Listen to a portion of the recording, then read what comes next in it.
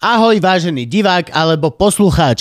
Nachádzaš sa práve pri epizóde Luživčak podcast. Je to preto, lebo ja sa volám Lužina a tento môj ctený kolega sa volá Živčak. Ďakujeme ti veľmi pekne a uži si epizódu. Ak by si nás chcel podporiť, môžeš tak urobiť na Všetky linky nájdeš na luživčak.bio.link, kde nájdeš odkazy na Patreon a najnovšie aj na Buy Me a Coffee, kde sa nemusíš registrovať, iba nám cez kartu pošleš nejaké to eurko. Ďakujeme ti veľmi pekne. Tak a šup, šup, už kúkaj. Kúkaj, alebo počúvaj. Aj to počúvaj. Kúku. Niektorí. A tak, e, počú. Všetky podcasty sú krátke. Všetky teraz. Pusti si smečko, to má 4 minúty. Vítajte, New, Newsfilter. Matovič, kokot, všetci zomrieme. Tá, tá, tá, tá, dovidenia. Na to, vidíme. že majú 4 minúty, stihnú mať 5 minút reklam. Oh, snap. Hneva ťa to? Mňa, hej, ja to Mňa, hej. musím pretačať. Ja tiež, hej. Ja to neviem prečo, vieš. A toto je tá halu, že vlastne oni... A teraz akože už... Á, mám pič. Oni majú predplatiteľov. Tie noviny fungujú normálne s predplatiteľov. Aj denník N, aj, aj Mhm. Smečko. Tie podcasty nemajú audiovizuálne, majú ich iba audio, Mhm. čiže sú lacné. Prečo tam musia mať 5 reklam? No lebo z toho žijú. A smečko až tak veľmi podľa mňa nie, že je predplatiteľ. Hej no. To len denník N je ten veľký je taký, úspech. hej, že... Hej? Lebo ale hej, no, smečko nebude. všetci tí uvedomili ľudia sa presunuli vlastne v čase tej pentakrízy z smečku do NK. Vieš, že mne to príde ako taký double damage. Vieš, že máme zaplatenú epizódu od vás, od predplatiteľov a ešte si tam jebneme hociakú reklamu, aká je. No, ale veď podcasty máš zadarmo. Čo? Predplača si smečko? No všetko si, neviem. Hej. Ja nie. Počúvam ich podcasty. Vidíš, to nech majú reklamu. A tak, okay. No len tak, akože, či to není taký double damage, vieš, akože... Ja inak akože odkedy N ja minimálne chodím na smečko. Ja na smečko nechodím vôbec. Musí mi e, niekto reálne poslať link zo smečka, že tu je niečo zaujímavé. No ináč, kto to teraz číta? Keď... Vôbec neviem. Vôbec neviem. Ale stále to funguje. teraz skôr to, akože to funguje tak teraz na tých A- blog sme, teraz sa tam každý vyjadruje, e, pokiaľ ťa, sa, sa ťa niečo dotklo, alebo si triggered, alebo, alebo hoci čo, tak napíšeš na blog.sme a, a, vid, a A vyjde aj tak to nikto nečíta. No rozhodne to nečíta ten, koho by sa to malo dotknúť.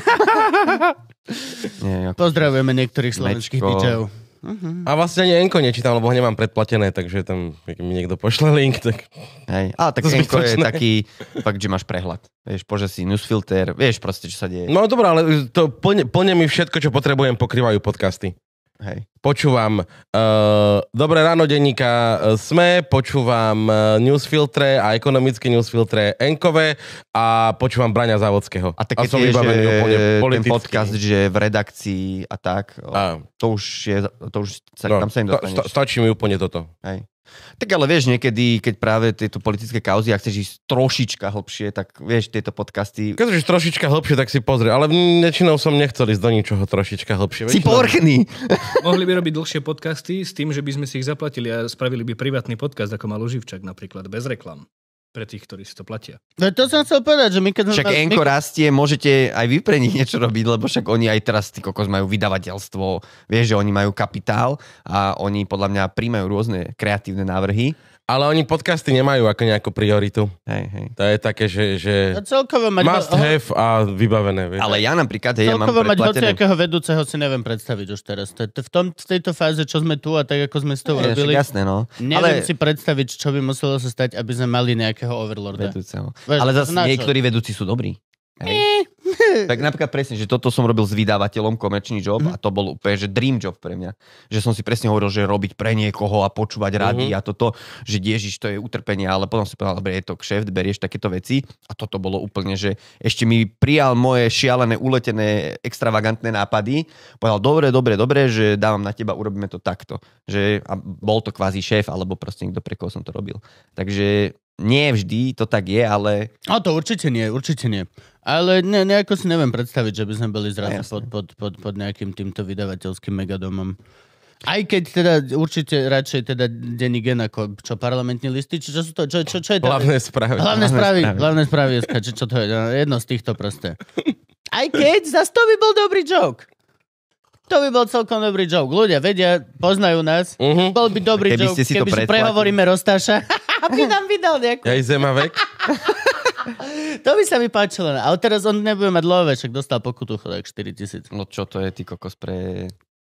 Hej, prerostá sa. Pre Ruskú federáciu, Ale ktorá ho platí? no. A Harabin chcel vyzliekať z uniformy policajta. Fakt? Hej, no. Akože v rámci nejak... A, wow. Neviem, či má také chute, alebo čo, ale, ale bliakal na ňo na súde, že... Videli lebo ste nechcel ho tam pustiť. Videl som len one. Je, je, to, je to výborné, mali by už konečne do toho nastrihať zase, vieš, ak robia, keď máš nejaký dobrý úsek, tak sa do toho namixuje pesnička. Mm. tak zvlečte uniformu, je podľa mňa jeden z najväčších songov na svete. Ale že či ste videli nejaký naživo Harabina? Nie, čo si? Ja som bol na jeho mítingu. Ako? To bol zážitok. My sme išli do Považskej na čítačku knihy a tam je, jak vystúpiš zo stanice, tam je ten starý socialistický kultúrak rozpadajúci Mhm. sa. A to vlastne nejaký, poto, nejakí pokračovatelia odborárov, dva a tak ďalej, takže z času na čas sa tam niečo deje. A Hrabinovi to prenajali na jeho predvolebný meeting a my sme tam šli do takej kaviarny, takého kultúrneho centra a zrazu dívam sa, že Hrabiňák. A moja vydavateľka Zuzka Dušičková, že čo, ty kokos, to čo sa tu deje? A teraz vidíme už presne, už vidíš taký ty babky demokratky mečiarovské ešte, ktoré žijú, už sa to tam tak zliezalo, že ty však to má Harabin, one. Proste meeting, tak sme vliezli aj donútra, tam rozdávali koblihy, jak babiš. Vieš, proste... Ako normálne, že one, donaty? No, no, také donaty. Šiško. No, šišky a to. No me, už poď, ideme dnu, proste... Dáme kávu ši. Ja to chcem vidieť. Hej, akože zase je to, je to vec, ktorú keď môžeš zažiť, No, No jasné. Kedy to zažiješ? A došli sme donútra a už prvé, že ten kultúrak fakt, že 20 rokov zatuchnutý, smradlavý, plesnivý je to tam. Už to proste bolo jak nejaký apokalyptický film. A teraz ten Harabín, prázdne pódium, žiadna, vieš, smeráci majú aspoň tú show, svetla, Áno, áno, áno, kvety dostávajú. Toto bolo také, že bola tam nejaká, ja neviem, vlajka, niečo, nejaký billboard a teraz ten Harabín tam stál za takým dreveným, starodávnym pultíkom, to vyzeralo skôr jak z nejakého, skôr jak z nejakého Lynchovho filmu. Tam stál a v sále bolo tak polovica ľudí, polovica, tak pr- proste taký akože taká cieľovka, starší ľudia, stredná generácia a tak ďalej. A, a tak tam proste počúvali a, a bola tam Jadranka. A teraz ja hovorím, že bude spievať Jadranka, vydržme to. A my sme tam len tak stáli na tých schodoch a Zuzka, že poďme preč. A že nie, že poď, ja chcem vidieť počuť. Tak sme chvíľu počúvali toho Harabina. A to bol úplne, že masakér politického marketingu, že on, jak sa snažil voliť, uh, loviť voličov od proste rôznych strán, napríklad chcel vo, SNS-ackých voličov k sebe Mhm, no dostať, jasné. tak on tam začal na tom mítingu osočovať vlastne SNS z toho, že priviedli na ministerstvo školstva pedofilov. Takýto narratív tam normálne dal, že to SNS. Že v tom zmysle, že to má byť tá národná strana, veď oni ťahajú pedofilov na ministerstvo školstva. Mňa musíte voliť, lebo ja som národ... Takéto, a teraz tá jeho dikcia, fakt proste to tak. A teraz tie 10 sekundové pauzy. on hovorí veľmi tak punktne. No. Áno. Hovorí veľmi... No, to je pravda, on kým sa preslabikuje sa k jadranke, tak už ťa tam toto nebaví. A zobral som si zápík a kľúčenku Strana vlast? Presne tak, mám doma proste zapalovač vlast, lebo to vlastne už nikto nerobil v týchto posledných voľbách. Počkaj, on mal vlast? Vlast? Áno, strana vlast. A čo majú teraz tí druhí fašisti? Republika. Á, sorry, sorry. Prepač, som zmetený. Mali by byť zakázané synonyma, podľa mňa. Mm. Mali by byť normálne zakázané, že pokiaľ niekto si dá rep... už ty už nemôžeš mať toto. Ne, nemôžeš mať. No však to oni boli, také nebolo, že uh, uh, pr- pr- pravá, pravá SNS, Áno. potom one nie, To bol ten rozkol Slota Malíková.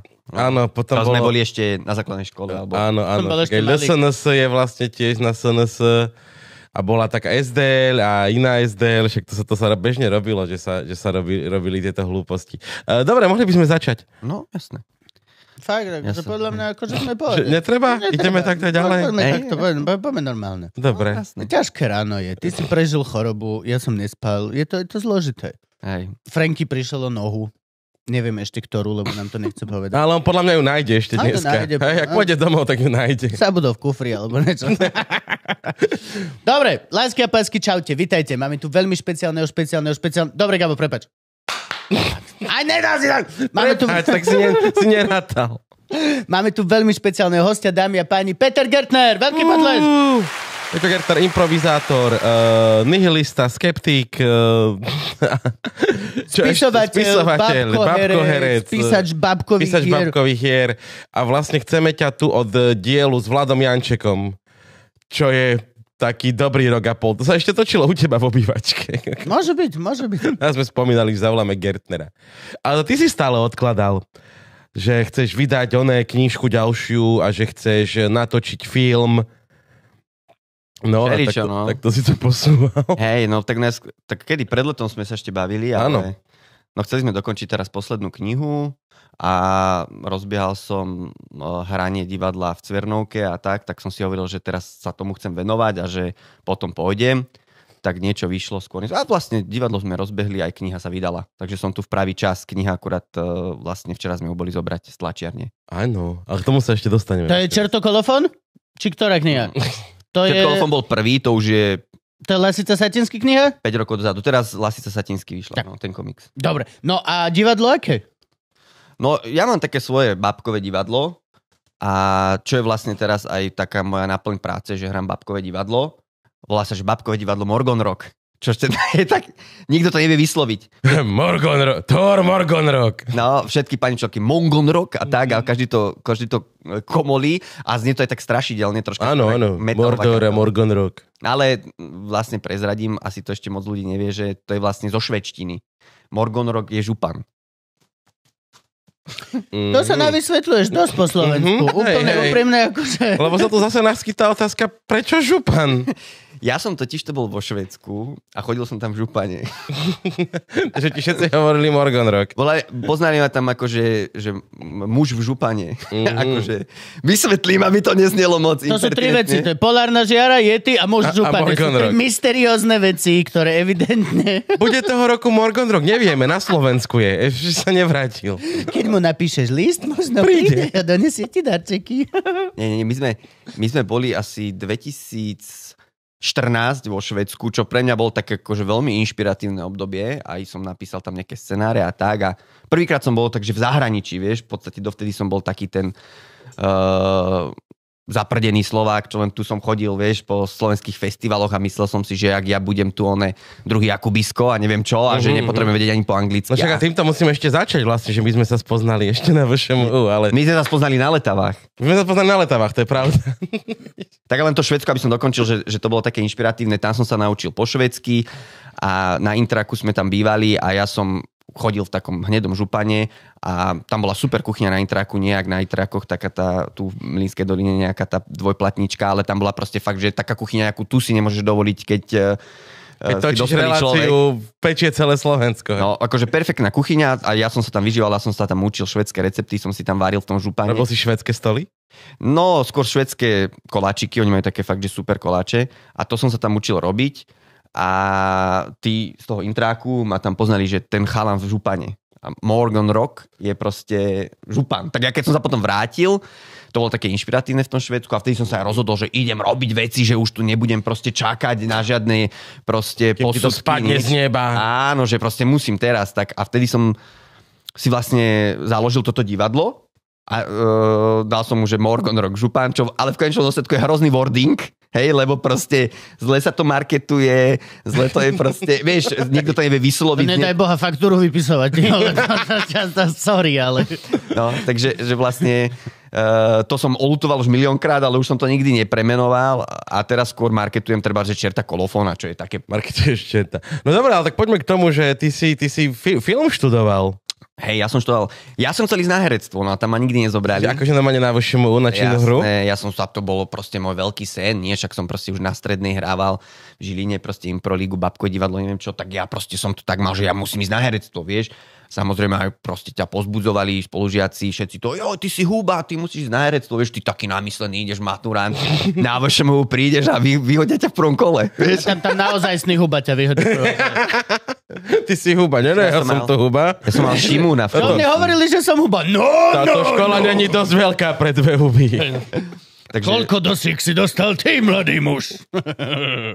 mňa, mňa, ja som v tom, pr- prvýkrát, čo som išiel na herectvo, tak v prvom kole normálne som hneď vypadol, aj keď tedy som ako relatívne bol dobre pripravený, ale mal som, ešte musím povedať, takú aj dosť veľkú smolu, lebo tam ideš v tých štvorkách pred tú komisku a ja som mal v štvorke, že Adelu Mojžišovu, Martina Šalachu, a ešte nejakú babu, oni boli všetci traja z konzervy, brutálne spievali, mali už základy herectva. Ja som tam došiel gimplák, ktorý síce som mal nejakú vtipnú etúdu, mm-hmm. spievať som nevedel vôbec, takže oni keď ma počuli spievať, tak 70 sukien mala, tak si zapchali uši, povedali stačí.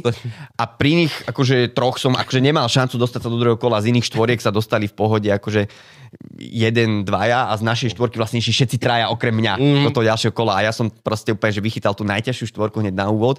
To ma tak akože som mal z toho troška depku. Vieš, po Šalachovi, že no, 70, vieme, vieme, vieme, počuli sme o tom, Áno, áno, hej, ma, áno, nevydala sa. Dobre, dobre, ďakujeme, ďakujeme. No, no takže no a potom ma prijali e, vlastne na scenaristiku, o, lebo to sa tiež robia primačky niekedy vo februári, alebo tak. Nie, Ale na filmovú. na filmovú, na filmovú scenaristiku. Nie, To sa neexistuje divadelná scenarista. neexistuje, neexistuje. No dobré, ale to je celkom veľký skočík. Z To divadla veľ- na film? Je to veľký No skočík. hej, že na, z namysleného herca na scenaristu. Vieš čo, lebo ja som paralelne, jak som na strednej škole riešila nejaké ochotnícke divadlo a takéto veci, aj som chodil do literárneho klubu v Žiline, do Makovického domu, čo to už tiež zaniklo všetko takéto veci. Ďakujem Bohu. No. Makovic si nezaslúži dom. 700 ľudí s depresiou. To bol ten, eh, to bol ten Posledné, čo potrebuje Makovický, je mať nejakú nehnuteľnosť. Ale ten starý Makovický. Ja, dobre, dobre, my máme svojho Makovického. Akého? No, stand-up komik, Maťo Makovický. Aha, okay. Toto bol, myslím, Makovický Tolstojov doktor, alebo také niečo. Že 19. storočia. Okay. Mm. Takže ja som chodil do toho literárneho čo, klubu. čo, no. čo, čo sa robí v literárnom klube? To kedy si fičalo, to bolo Ježiš, populárne. hej, strašne veľa ich bolo. V čo Martine boli robilo? tri. Čo sa tam robilo? Lebo ja, ti, ja tak akože aj pre súčasných mladých divákov poviem, že keď neexistoval YouTube a Facebook, tak uh, boli iné druhy zábavy. Napríklad literárne kluby a, a treba improvizačné divadlo, ochotnícke divadlo, že my ako, ja ako Gimplak ešte, že to bolo cool chodiť do divadla, hrať divadlo alebo na literárny klub. Dneska to vlastne akože úplne vymizlo, lebo proste tá zábava sa To boli tí prv, prvotní hipstery, vieš. Na Sme sociálne cool, no. chodíme, Bola literárny klub v kaviarni. No, skôr bola šanca proste stretnúť baby. Áno, áno, áno. Ja toto celé pripisujem nášmu normálnemu opičiemu správaniu, ako úplne všetko ostatné v našich životoch sa dokáže Áno. vydestilovať Bol to rybník, kde sa dalo loviť. na tú jednu vec, že proste, kde str- mohol by som stretnúť Babi. to, kto ma zaujíma. Či už je to chalan, baba, to je niečo Mhm. medzi tým, je to jedno, ale v podstate vždy úplne, že kde by som mohol stretnúť to, čo ma zaujíma. Veď- Ja musím povedať, úprimne mňa zajímalo primárne to umenie.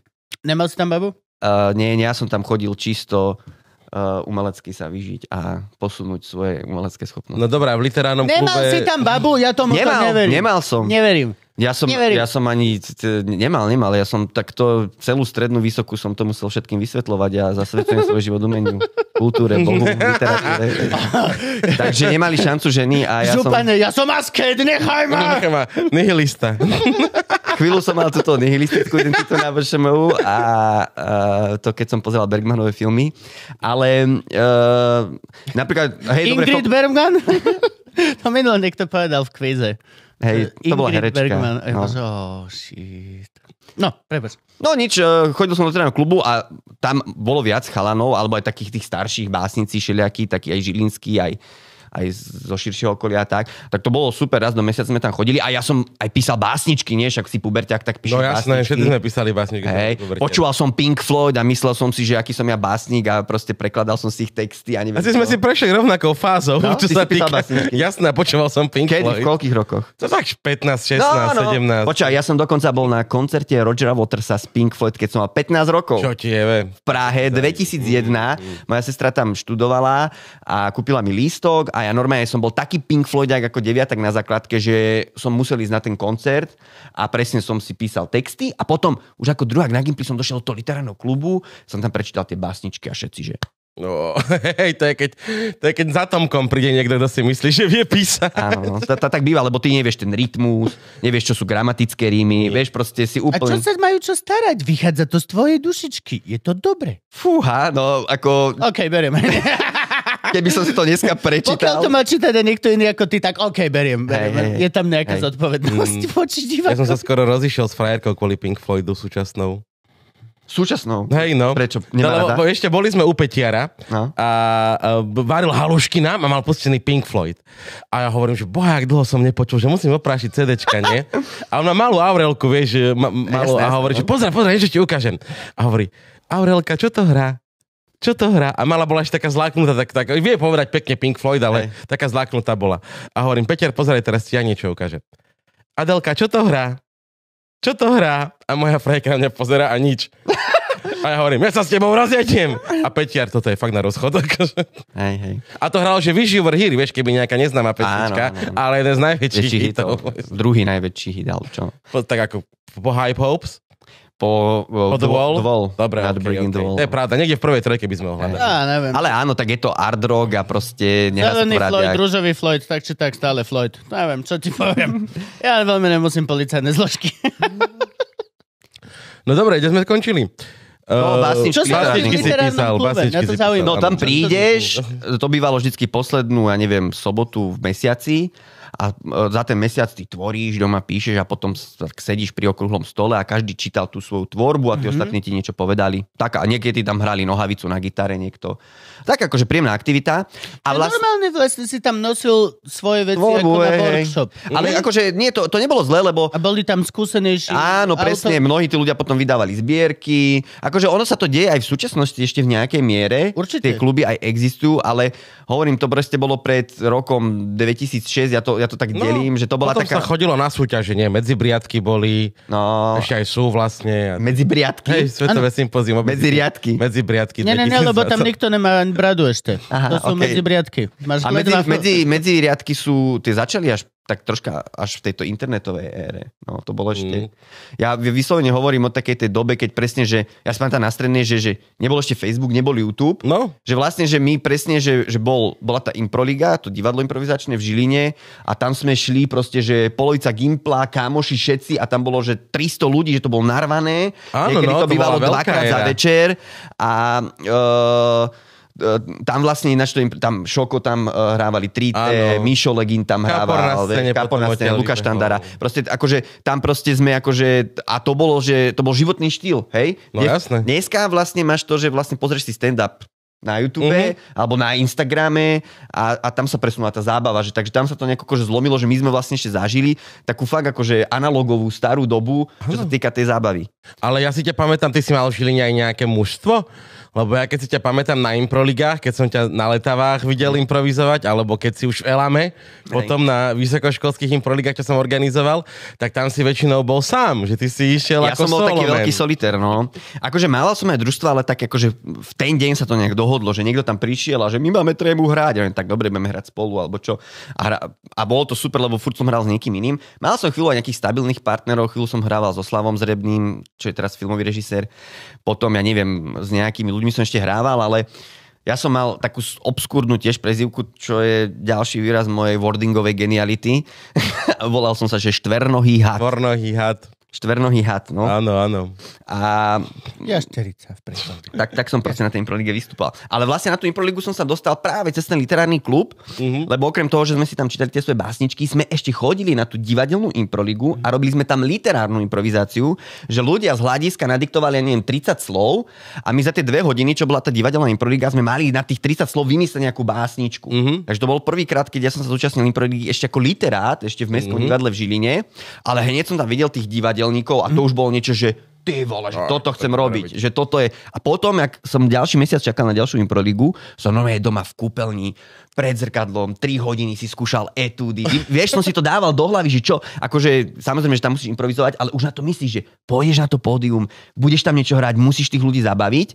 A normálne potom po mesiaci som tam došiel a viem, že vtedy proste úplne, že som skončil druhý alebo tak, čo bol akože mega úspech na nejakého začiatočníka. No jo. Že vlastne ja som ten mesiac úplne intenzívne, dokonca som zobral takého veľkého plišového medveďa a s ním som hral a mal som, že dve brutálne scénky, tretiu som mal takú slabšiu a tak som nakoniec skončil druhý, ale že, že vlastne tá Improliga to bol úplne taký ten svet, ktorý ma totálne že pritiahol, to bolo vlastne to, čo som dovtedy robil pre spolužiakov alebo niekde proste na birmovkovej chate e, nejaké srandy s gitarou a zrazu som videl, že však ja to môžem robiť tu na, pódiu. Ja si vlastne pamätám, akože stretli sme sa akože na letavách, ale pamätám si ťa hlavne z tých helamistických improlík. Tam si, to, tam si tomu Áno, vlastne, lebo ty si bol v tom divadle... Divadlo hudby. Divadlo hudby. A ja som tam vlastne bol. Ja som tam išiel... Uh, ja som našiel na konkurs, ja sprost, sprostý, no. Ja som to videl. Divadlo hudby hľadá hercov, alebo teda, že nábor robí, Áno, a ja nábor, vieš, prídeš do. Bratislavy, nezobrali ťa na herectvo, a tu robí nábor niekto do divadla, šup, išiel som rovno na konkurs, vieš. Však bolo to super, ale vlastne to nebolo divadlo. To bolo Nie, to proste- nebolo divadlo, to bolo akože divadlo hudby. No. No, to bolo proste, tam sa robili nejaké programy pre študentov na intrákoch. Áno, áno, áno, áno, robili sa, po- ale robili sa literárne večery, robili sa profily nejakých hudobných kapiel, robili sa koncerty. Áno, áno. Ale nehralo sa divadlo, hej. ako- Áno, nehral sa, a tá Improliga sa tam robí. A Improliga sa robila, to bol vždy najväčší program. Takže tam som ešte chodil a ty si ma si až tam stretol, nie? V Žiline si nebol nikdy, no. V Žiline som nikdy nebol. Hej, to bolo ešte dobre, to bolo fakt, že tam to ešte končilo takéto zlaté Improligové obdobie a vlastne dosrali ste to vy, stand-up komici, lebo stand-up vlastne prebral agendu Improlige, ale nie, srandujem, no však mnohí prešli do toho Niečo sa, ale niečo sa stalo. Niečo sa naozaj stalo. Lebo tie improligy zdochli. No zdochli, no. Neboli týmy. Ja si pamätám, že skapala nám Improliga, tá veľká elamistická, čo sme Áno, robili to na tom, Elámu že bol problém, že nechodili, nechodili týmy. Ale to bolo spojené presne s tým, že ten štýl zábavy sa zmenil, vieš, pretože uh, vyslovene, keď uh, v tej starej ére, ako by som povedal, to bolo také, že že, že boli aj všetké ochotnícke súbory, alebo tí ľudia, aj mnohí chceli byť, že herci, vieš, lebo však teraz už sa pomaly nikto až tak, ne, akože chcú- ísť ľudia na herectvo, ale kedy si to bol úplne, že taký kult, že dostať sa návršemu na herectvo, mm-hmm. alebo aj na iný odbor, mm-hmm. vieš, a že to bolo aj, aj v tých, aj, aj u nás na Gimply som nebol jediný, čo chceli, alebo rozmýšľal nad tým, že pôjde na herectvo, vieš, že to bolo tak akože taká iná doba a, a dneska si myslím, že už to tí ľudia na tej strednej až tak veľmi nemajú, že, že, že, že chcú sa dostať niekam na pódium alebo niečo a už to vlastne ani moc nepoznajú. Byť youtuberi, no teraz. Presne, chcú byť youtuberi, toho, lebo od detstva to vidíš, YouTube, všetko toto. Potom presne uh, chcú byť úspešní na Instagrame, vidia stand-up komikov uh, online a, a Ale stand-up komici sú naživo. sú aj naživo, áno, No, nie, že... sú, sú hlavne naživo. To je tvoje videnie sveta. Hej? Jasné. No lebo či koľko videní majú tie videá na YouTube a Facebooku, ti to stále ponúka, vieš? Mhm. Takže vlastne viac ľudí ťa určite videlo online ako naživo. Určite, rapi, rapidne viacej. Povedal by som, že tak dve tretiny ťa videlo online. Shit. Tá- to by tre- som, si, a to by som prekopal naživo. to, čo mám na YouTube. Ja neviem, čo tam mám. No. 5-ročné sety, ty vole. Hej. Snu spiritu. Stále dobre, akože na svojich starých setoch som vydránkal 85 tisíc followerov na TikToku, čiže No. stále je to veľa Ty ľudí, to stále ktorí, recykluješ, ktorí ich nevideli. Mm. Jasné, tak, lebo není teraz moc nového. A ten TikTok to akože má nejaký zmysel? Vysvetlí nám. Má zmysel, jasné. TikTok je super. Podľa mňa TikTok je momentálne najlepšia platforma. Fakt? Isto. Bo ja som si práve hovoril, že to je ako už... Facebook je úplne, mŕtvý, na je Facebook sa chodím už iba nasierať. Instagram je taký, že Instagram teraz nevie, čo chce.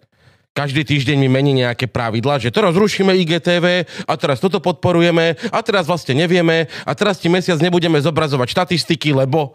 Hej, A TikTok kvičí jak král. hej. No, Len sa tam pridávajú iba videá. vieš. ja som v podstate teraz iba na Instagrame. Na hej, Instagram akože, potrestal zobrali mi možnosť dávať swipe up.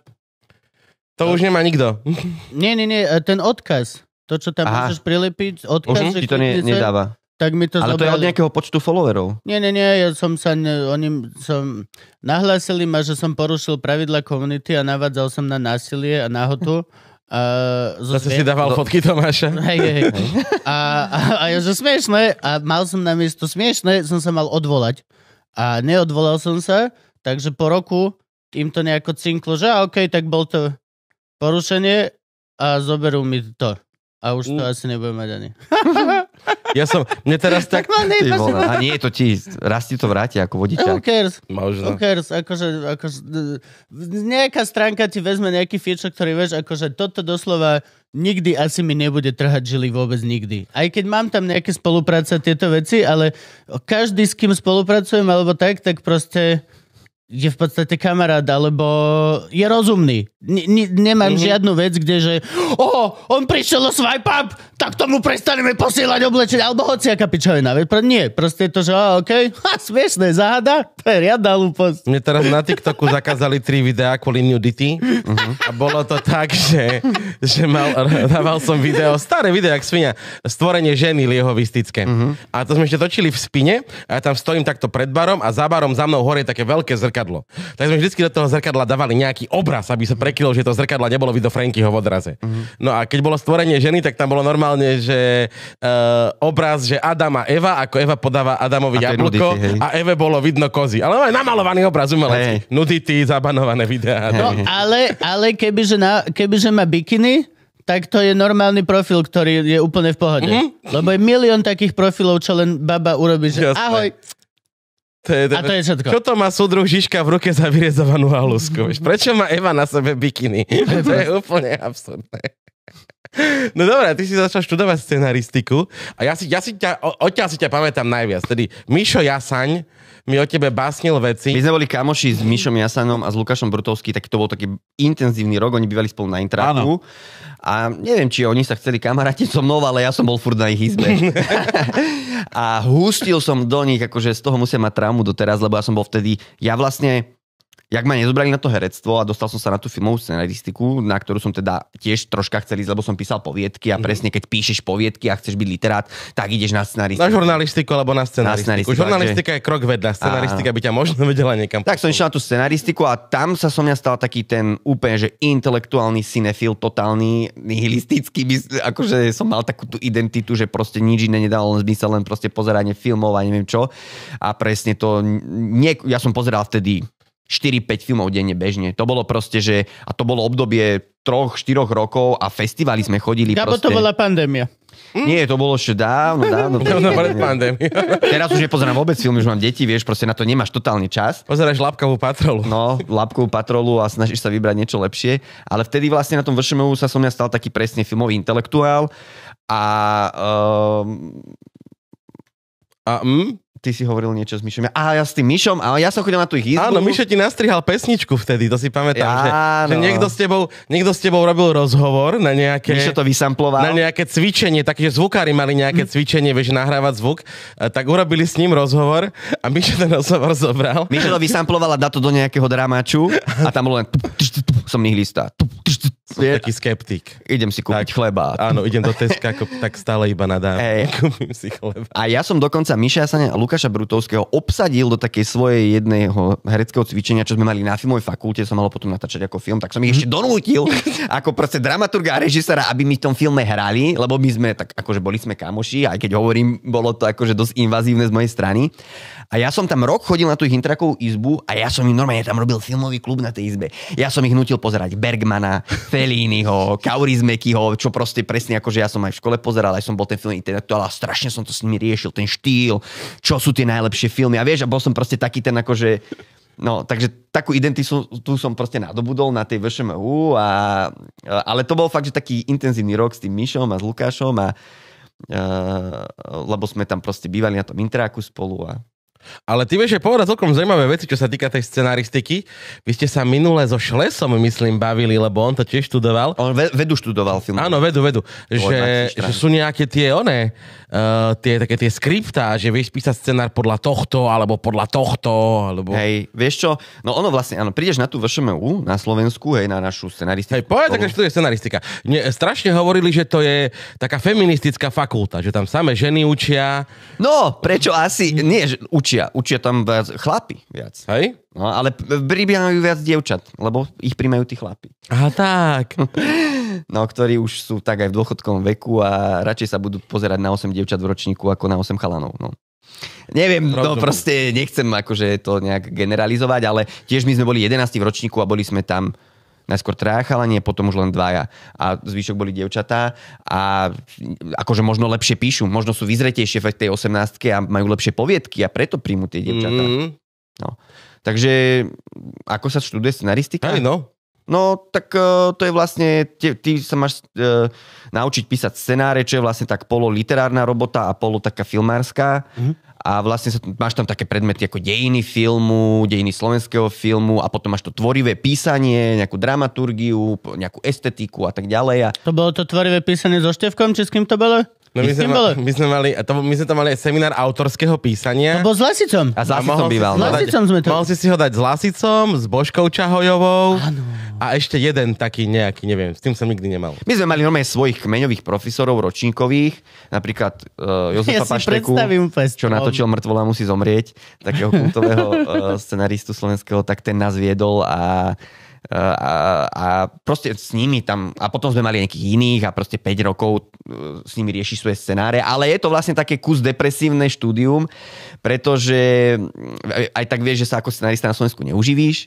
Áno. Uh, vlastne tí ľudia, ktorí vyštudujú scenaristiku, tak akože treba my sme boli 11, ja neviem teda kto čo všetko robí, ale nemám pocit, že by sme písali scenáre. Buď robia tí ľudia, že skript, čo je taká mm-hmm. iná pro remeslo pri filme, alebo robia marketing, alebo proste úplne učia, vieš, proste robia Jaromín Babkovi divadlo. Hej? Áno. Hm. Akože ja by som aj chcel písať pre film scenáre, ale presne, že ten trh není taký veľký na Slovensku filmový, aby uživil, každý rok to vychrli, ja neviem, 10 scenaristov, teraz už možno menej. A takže vlastne oni už tam aj tak akože hovoria, že aj tí profesori ti tak naznačujú, že vlastne aj, nie, že ti to otvorene povedia, ale už z tej atmosféry to tak ako vyplynie, že aj tak to nebudeš robiť. Mhm, no jo. A, a, a, a aj také, už tam aj nám hovorí, no nebojte sa, v tretiach už budete brať Xanax. také proste. No proste a presne ako dostaneš toho depku, potom vlastne moc tam nič nerobíš, lebo to nie je takéto štúdium, kde sa musíš učiť po anglicky, pracovať na sebe. Áno, áno, že To je áno. také troška Také, je to také dobrovoľné štúdium. Potom už sa tam chodíš podpisovať do prezenčky, lebo tá scenaristika, ešte keď robíš, študuješ kameru alebo strých, tak to musíš vedieť tie technické veci. Áno, áno, Režiséri ty sa relatívne uživia, lebo ty môžu režirovať, ja neviem, od superstar až po reklamy, hocičo. No. Mhm. Takže tá režia je taká, že ešte celkom poctivé štúdium, ale tá scenaristika, všetci vedia, že aj takto tí ľudia robiť nebudú. Vieš, je to také demotivujúce, vieš, aj tí profesori vlastne Uh, ťa tam majú v 11. ročníku a ty si sprostý, máš 18 rokov, prídeš z Gimpla, nemáš nič zažité, nič načítané, čo ty máš vedieť, aké dobre scenáre písať. Myslíš že si majster sveta, ale nie, si píšeš blbosti a potom máš depresiu z toho, že píšeš blbosti. Takže to je skôr taký akože 5 rokov, aj depky a neviem čoho. Akože ja to aj A oceňujem. plus aj ten scenár je taká dosť depresívna záležitosť, lebo nikdy nekončí. Ja som zopár musel písať a v živote nič nebol... Vieš, že scenár je vždy ping-pong. Jasné, hej, Vždy. že, o, ešte toto treba zmeniť a Ty toto, nedostaneš toto tu litera pol nesedí. hej, za napísanie scenáru. Hej. Nie, nie, nie. No, Ty hej. dostaneš honorár za napísanie scenáru a najbližšie tri týždne dennodenného ešte toto a ešte toto a toto a to. A teraz keď sme toto, tak toto a to, to je, že nikdy nekončiaca záležitosť. Hej, no. Z toho by akože by každý bol smutný. To je to... Hej, to sú také, že aj také všaké vtipy, aj to akože presne ako majú. Takže ten scenarista je vlastne taký tvor, odsudený na depresiu v tvorbe. A vlastne a potom presne tí scenaristi reštia, že ten režisér im to zle natočil a také vieš, akože, takže, akože, No to už ani nehovorím vlastne, keď sa to začne robiť. ale ja akože v podstate pre film nepíšem, maximálne konzultujem nejaké krátke filmy s nejakými kamošmi, keď chcú niečo poradiť, ale pre film nepíšem vôbec, lebo to sa vlastne na Slovensku ani veľ... akože môžeš si podať žiadosť nejaké štipendium a písať, ale to je tiež, to, to sa vlastne tiež ne, nezrealizuje nikdy. Ty máš... len napíšeš uh, To je na scenár vývoj, do scenár. šuplíka, ktorý ti štát zaplatí a... nie štát, e, audiovizuálny fond, alebo fond, literárny v fond, sú nejaké fondy, ale hej, to nie je podmienka, že že ty keď dostaneš peniaze na štipendium na napísanie scenára, že sa musí z toho natočiť film. To je vlastne ako, že aj v Amerike, v Hollywoode sú platení scenáristi, ja neviem, mm-hmm. v štúdio platí 100 scenáristov, všetci píšu, ale z toho iba 3 scenáre sa realizujú. Takže svojím spôsobom je to niečo podobné ako v tom kapitalizme a nie je to úplne, že na zhejtovanie. Je to proste tvorivé štipendium a z mnohých tých scenárov potom aj vzniknú filmy. Hej? Takže, ale hovorím, že proste nemôžeš si teraz, ja si nemôžem povedať, tak ja budem žiť štipendií na scenári. No to sa nedá. Mm-hmm. Vieš? Preto svojím spôsobom robím všetko možné iné, aby som sa uživil a zároveň nejak umelecky realizoval, lebo a zároveň presne tí filmoví scenáristi, ktorí sú slovenskí, tak tých tam sa to už točí a každý chce robiť s tým istým, lebo oni sú dobrí. Veď oni už predsa majú nejaké filmy, tak musia byť dobrí a tí noví mladí sa tam moc nedostanú, Hej. pretože oni ešte nič nespravili. Hej? Takže ale je to vlastne je to tak, blúdny a- kruh. a- ale, ale je to tak, že musíš si vybudovať, musíš najskôr napísať trikrát pumpu, potom musíš napísať uh, hviezdy na lade, potom Vieš čo? dostaneš niečo, potom do, až potom... Potom film, ale- voiceover do farmy. Ja by som Ve- povedal, že- ja by som, Pozdravujeme ťa, Samko. ja by som povedal, že ono to je, uh, uh, popri tom utajeného šéfa. No sorry, no aj u tajného šéfa, lebo my s Citronom sme minule išli na zajazde a Citron mal na hodnotenie epizódu farmy, ja som mal na hodnotenie epizódu farmy, Citron to pozera dvojnásobnú rýchlosť, Mhm. ja pozerám 1,5 a len si rýchlo poznámkujem, ja samozrejme, že ja to musím pozerať. No, to je... Chodiatko malé. No čo, je to chlebovka, no čo si No, budeme... ako ja som tiež písal scenáre do policajných prípadov. Asi rok som to robil. to ne, práve ste No. nepočuli Frankyho vzdychnúť. No. Renke, to čo je- sa ti stalo? A tie policajné prípady sú hrozné. No to je Čo je to? absolútne Čo je to? Peklo. To je... Som, No, poviem ti môj zážitok a pochopíš. Povedz. To, bolo, to už som bol po výške nejaké 3-4 roky a presne som sa vyhýbal týmto proste robiť v telke, tieto komerčné blbosti som proste nechcel, som roč, radšej robil premietača v kine.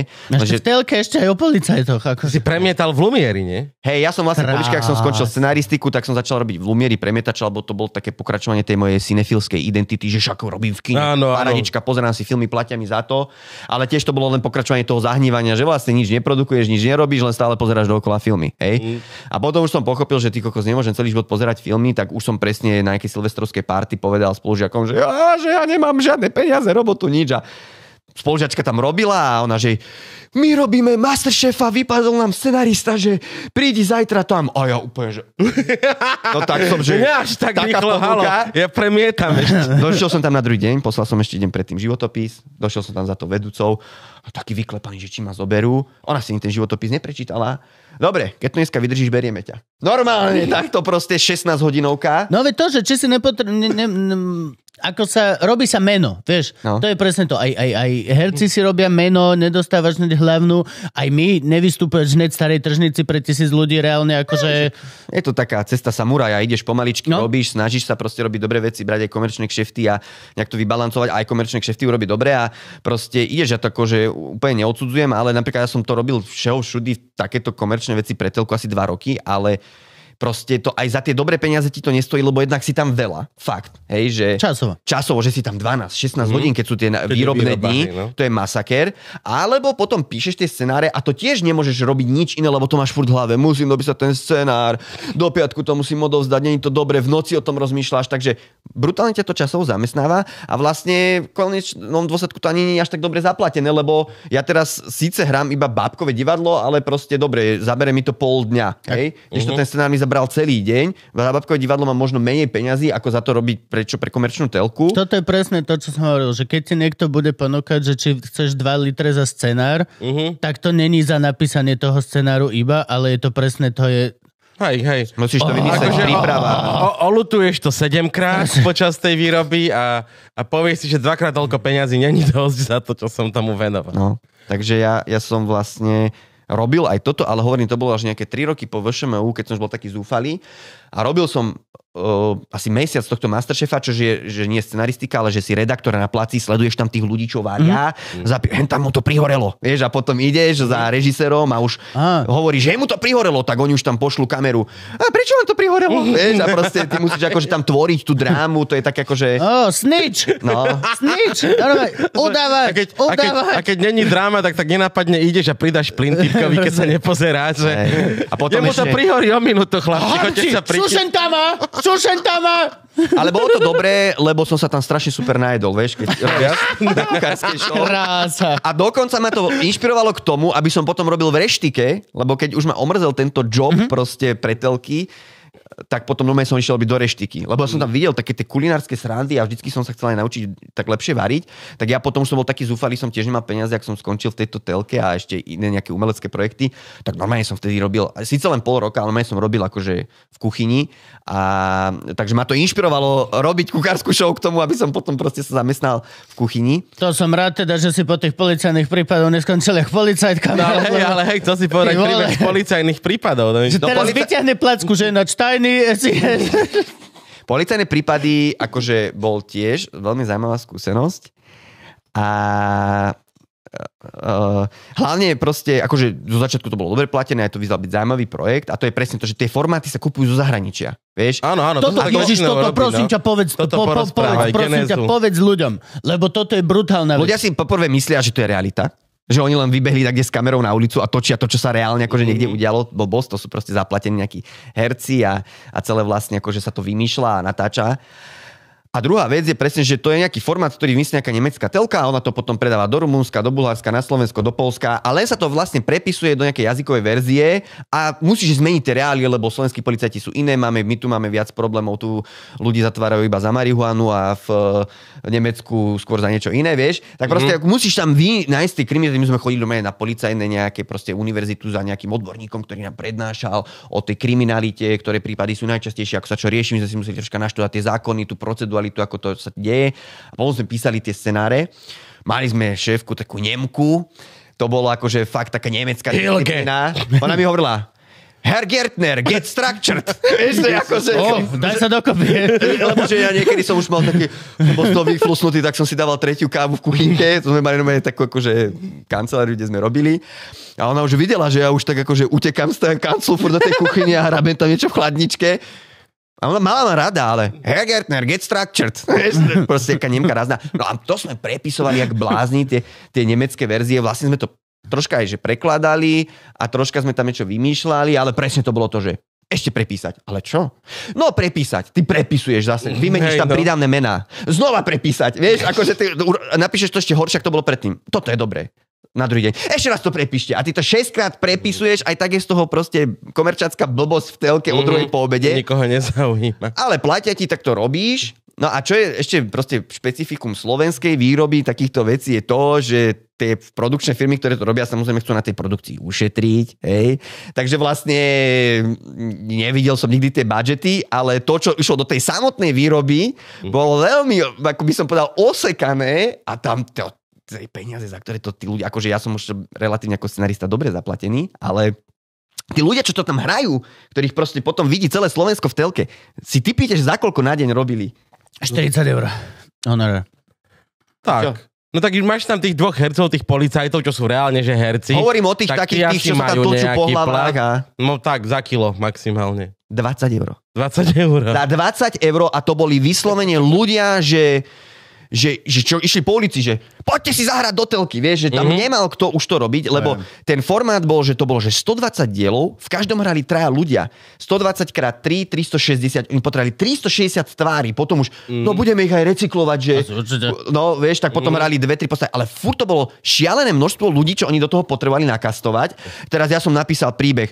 50-ročná blondína, m, niečo, mm. stratí čivavu, poslal som to proste mm. na casting a, a vedúca castingu došla nie a hovorí, že 50-ročná blondína? Si blázon? 50-ročné blondíny už nemáme. Prepíš to na 60-ročnú brunetu. Vieš? Takže ja som tam rýchlo opísal 60-ročná bruneta, vieš, a proste, aby, aby to mal kto hrať a tí ľudia to bolo vyslovene taký nejaký proste, nechcem nikoho uraziť, ale zúfalci z miletičky proste, ktorí len, čo, môžem hrať v telke, idem, idem. 20 Lebo si mysleli, že proste, neviem 20 čo. eur ani nedávajte. No a išli presne a hrali. Hrali jak blázni tí ľudia. A tam prichádzame do veľmi, akože momentu, ktorý mám rád, že to bolo tak zlé, až to bolo dobré. Áno. Že tam sa dostávaš do toho štádia, že celé zlé, celé zlé.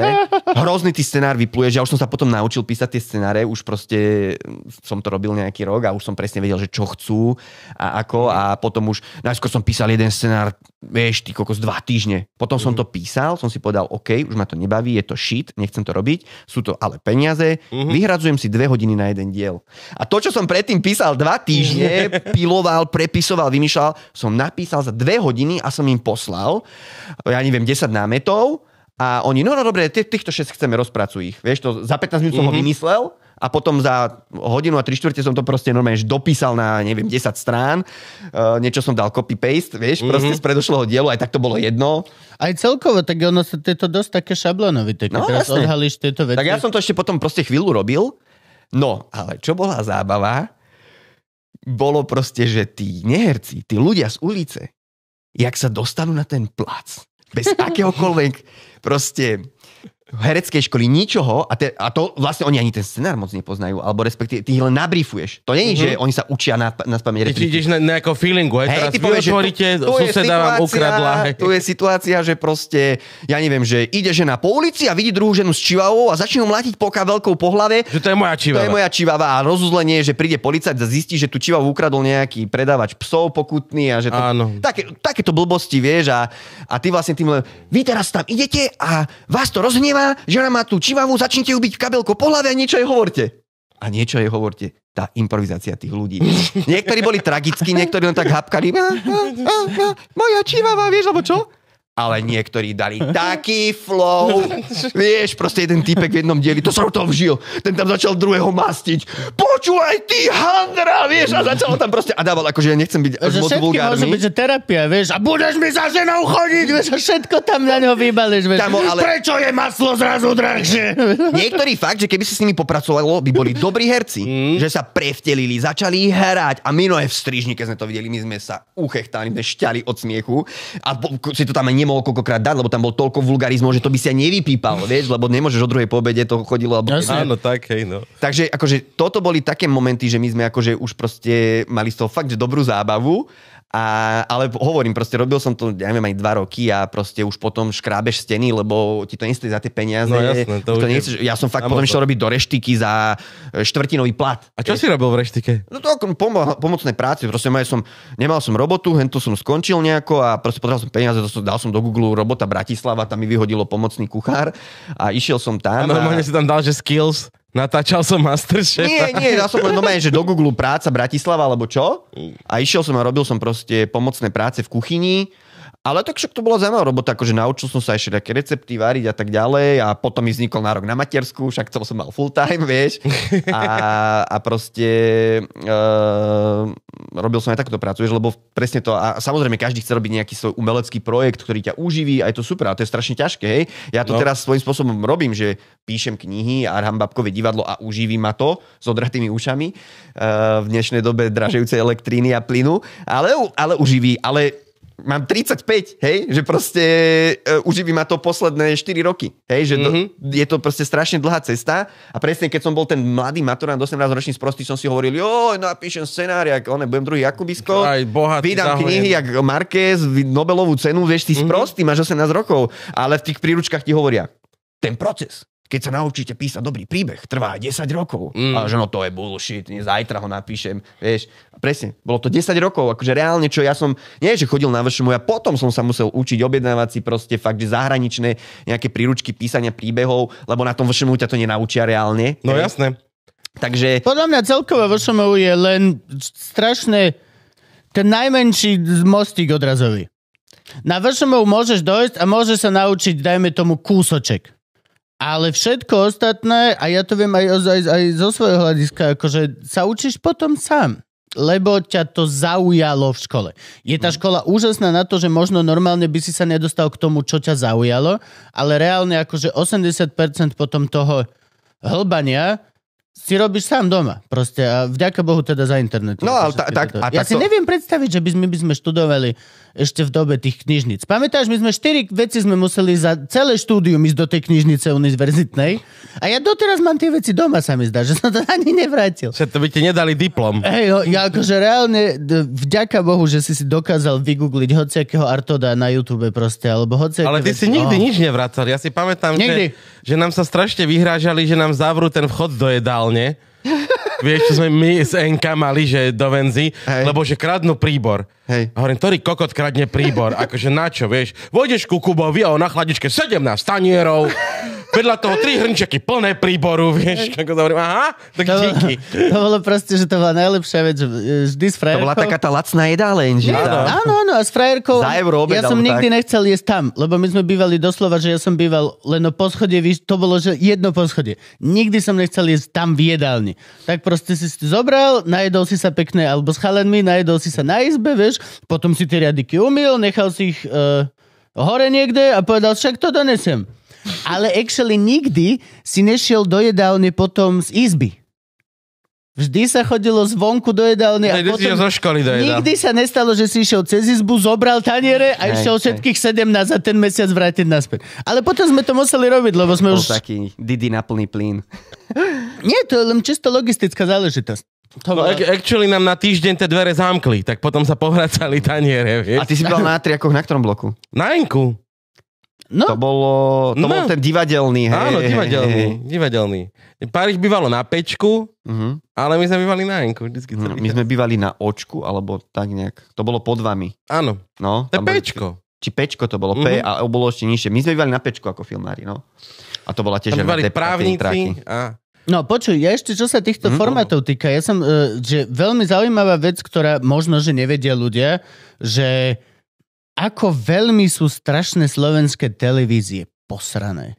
Z toho, čo kupujú a čo, čo púšťajú. Reálne na Slovensku na to, aby si urobil novú reláciu, kľudne dajme proste, hej, Masterchef, tak nič není, že vymyslí sa na Slovensku, natočí sa a vyskúšame. Je to, musíš doslova kúpiť formát, ktorý nie len, že je úspešný vo svete, ale ešte aj sú špeciálne tabulky na to, ako je úspešný v rámci V4, nám sa podobajú Češi a Poliaci, čiže ešte je špeciálna tabulka na to, ako je to úspešné u Čechov a u Poliakov a až keď toto splňaš a všade vidíš, že to bude brutálny banger, Mhm. tak si dovolíš, že tak ja to risknem Mhm. a kúpime nový formát. Prečo to tak je? Že prečo kupujú tie formáty zahraničné? Skôr prečo, No, prečo taká sa nedá- strašná opatrnosť? vytvoriť niečo Extrémne Slovákom. vieš. krehučká opatrnosť, No, lebo ten, kde iba eh, the best of the best sa môže kúpiť, lebo je to, no istota. No lebo áno, to na istota, istotu. no. Je to Lebo proste na tak, uh, sú to obrovské peniaze, chceš mať tú sledovanosť a ten trh je taký krehký. A áno, nemáme na Slovensku geniusov, ktorí vedia vymýšľať perfektné televízne formáty. A uh, uh, Jeden máme. uh, a teraz vlastne um, Radšej to oni kúpia z toho zahraničia, kde to je overené. Vieš, to, No není, veď to to, nie je akože- sranda, vymyslieť niečo. Není si ale, že či- Berlusconi, ktorý urobí tú vedomostnú súťaž, že sa ženy vyzliekajú, aby to, Teraz my máme očkovacú lotériu, takže no, aby to malo tam nám sledovanosť. vyzlekajú zdravotné karty. Ale, ale vieš, že toto, mňa toto ma to vždy zarážalo, ako vlastne je to úplne na istotu. Nikdy to nie... Chápeš, že oni ešte Hm. aj povedia, že proste, och, toto nám až tak nevyšlo, nemá to až takú sledovanosť, ale reálne oni to všetko vedia dopredu. To máš úplne... Tie, ja som videl tie grafy a tie Áno. štatistiky. A ľudia, čo... To sa updateuje každý deň pre Boha. To je úplne desivé. Hej no, tak to je...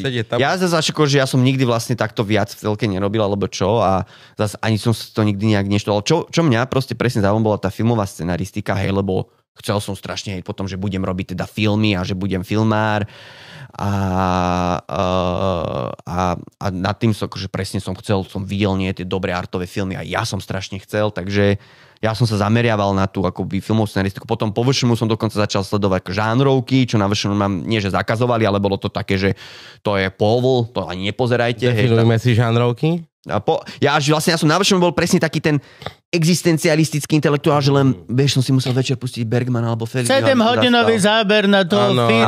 áno. a- Vychádza zľava pomalý strom. Hej, takže bol som- sa bre zaohlášať. Haj, haj, haj, haj. Lebo je to nejaké akože dané, že proste ideš z tej tradície Československá nová vlna, francúzska nová vlna, že vlastne oni to tak vychodujú, to je to európske kino, ktoré ty musíš robiť ako absolvent umeleckej školy a robiť tie Ok. A umelecké robiť filmy. umenie, nie komerciu. Áno, nie hej. komerciu. Aha, takže, a, a, a, a tie žánrovky vlastne, akože taký troška zastaralý pohľad na vec. Musíš žiť naše ambície. Tento diel bude mať povinne moja frajerka na ordinovanie, ona študuje scenaristiku Hej. filmovú. Takže akože pre mňa, Ty si vyrieš pre mňa Pink Floyd najprv, kamarát. ja som až, až po výške vlastne uh, um, uh, potom dosť akože čo ma dostalo bolo, ja som sa kamošil s filmovými vedcami na tej našej, uh, a to vlastne reálne filmoví vedci boli jediní ľudia, ktorí sa o ten film zaujímali a rozumeli mu. Tie ostatné odbory, to bolo vyslovene kameramani, strihači, to boli ľudia, ktorí proste akože mali radi tú techniku, nejak mali radi filmy, Mm. ale nemali nejaký hĺbkový záber a nerozumeli tomu filmu. Ale ja som sa kamošil proste s tými filmovými vecami, lebo fakt akože to boli ľudia, ktorí sa tomu rozumeli, mali načítané, vedeli aj po anglicky, že poznali aj iné zdroje ako nejakú slovenskú knihu vydanú v 60 rokoch o filme. Takže oni ma veľmi inšpirovali, a s nimi som vedol rozhovory a tak ďalej a cez nich som sa odpichol k nejakej ďalšej zahraničnej literatúre a tak ďalej a aj k tomu storytellingu. Takže za to im veľmi vďačím, že, že vlastne som sa, eh, že som nezostal len taký ten povrchný pozerský cinefil, čo machruje, že videl všetky filmy od Bergmana, ale že reálne som sa začal tým remeslom nejako zaoberať. Ale to bolo vlastne až po výške. A, a taká facka úplná pre mňa bola, keď som bol piaták a presne si to uvedomíš, že ja končím vysokú školu. Tá, vieš. také. Nevedel som... práce ma čaká, No, presne. sociálna poisťovňa. No, všetko toto, že ty vla... ja už, už štvrtáku som mal tú depku. Mhm. Si pamätám prázdnin medzi štvrtákom. No jasne, Ty si mal tiež depku, Gabo? My sme boli radi. Ja, no, čak, My sme boli, že yes, konečne. Ale nie depku z toho, že, v to, z toho zmyslu, že akože čo ťa čaká v budúcnosti skôr ako... Život. Hej. No. Sloboda. Ja som mal akože dosť depku s tým, že vlastne končíš nejakú školu, ktorá ti nič nedala poriadne. Akože dala ti nejaký základ kamošov, networking, OK, dobre. Ale vlastne bol som, že ty kokos, čo ja budem robiť? A ja som sa až tak štvrtaku spametal, som sa tak pozeral okolo seba. Ja som sa napríklad ani angličtinu neučil na tej výške, lebo presne ja som bol Tam taký... netrebalo. No, ani to, ani to nebolo Hello, treba. Daniel, how are you? Hej.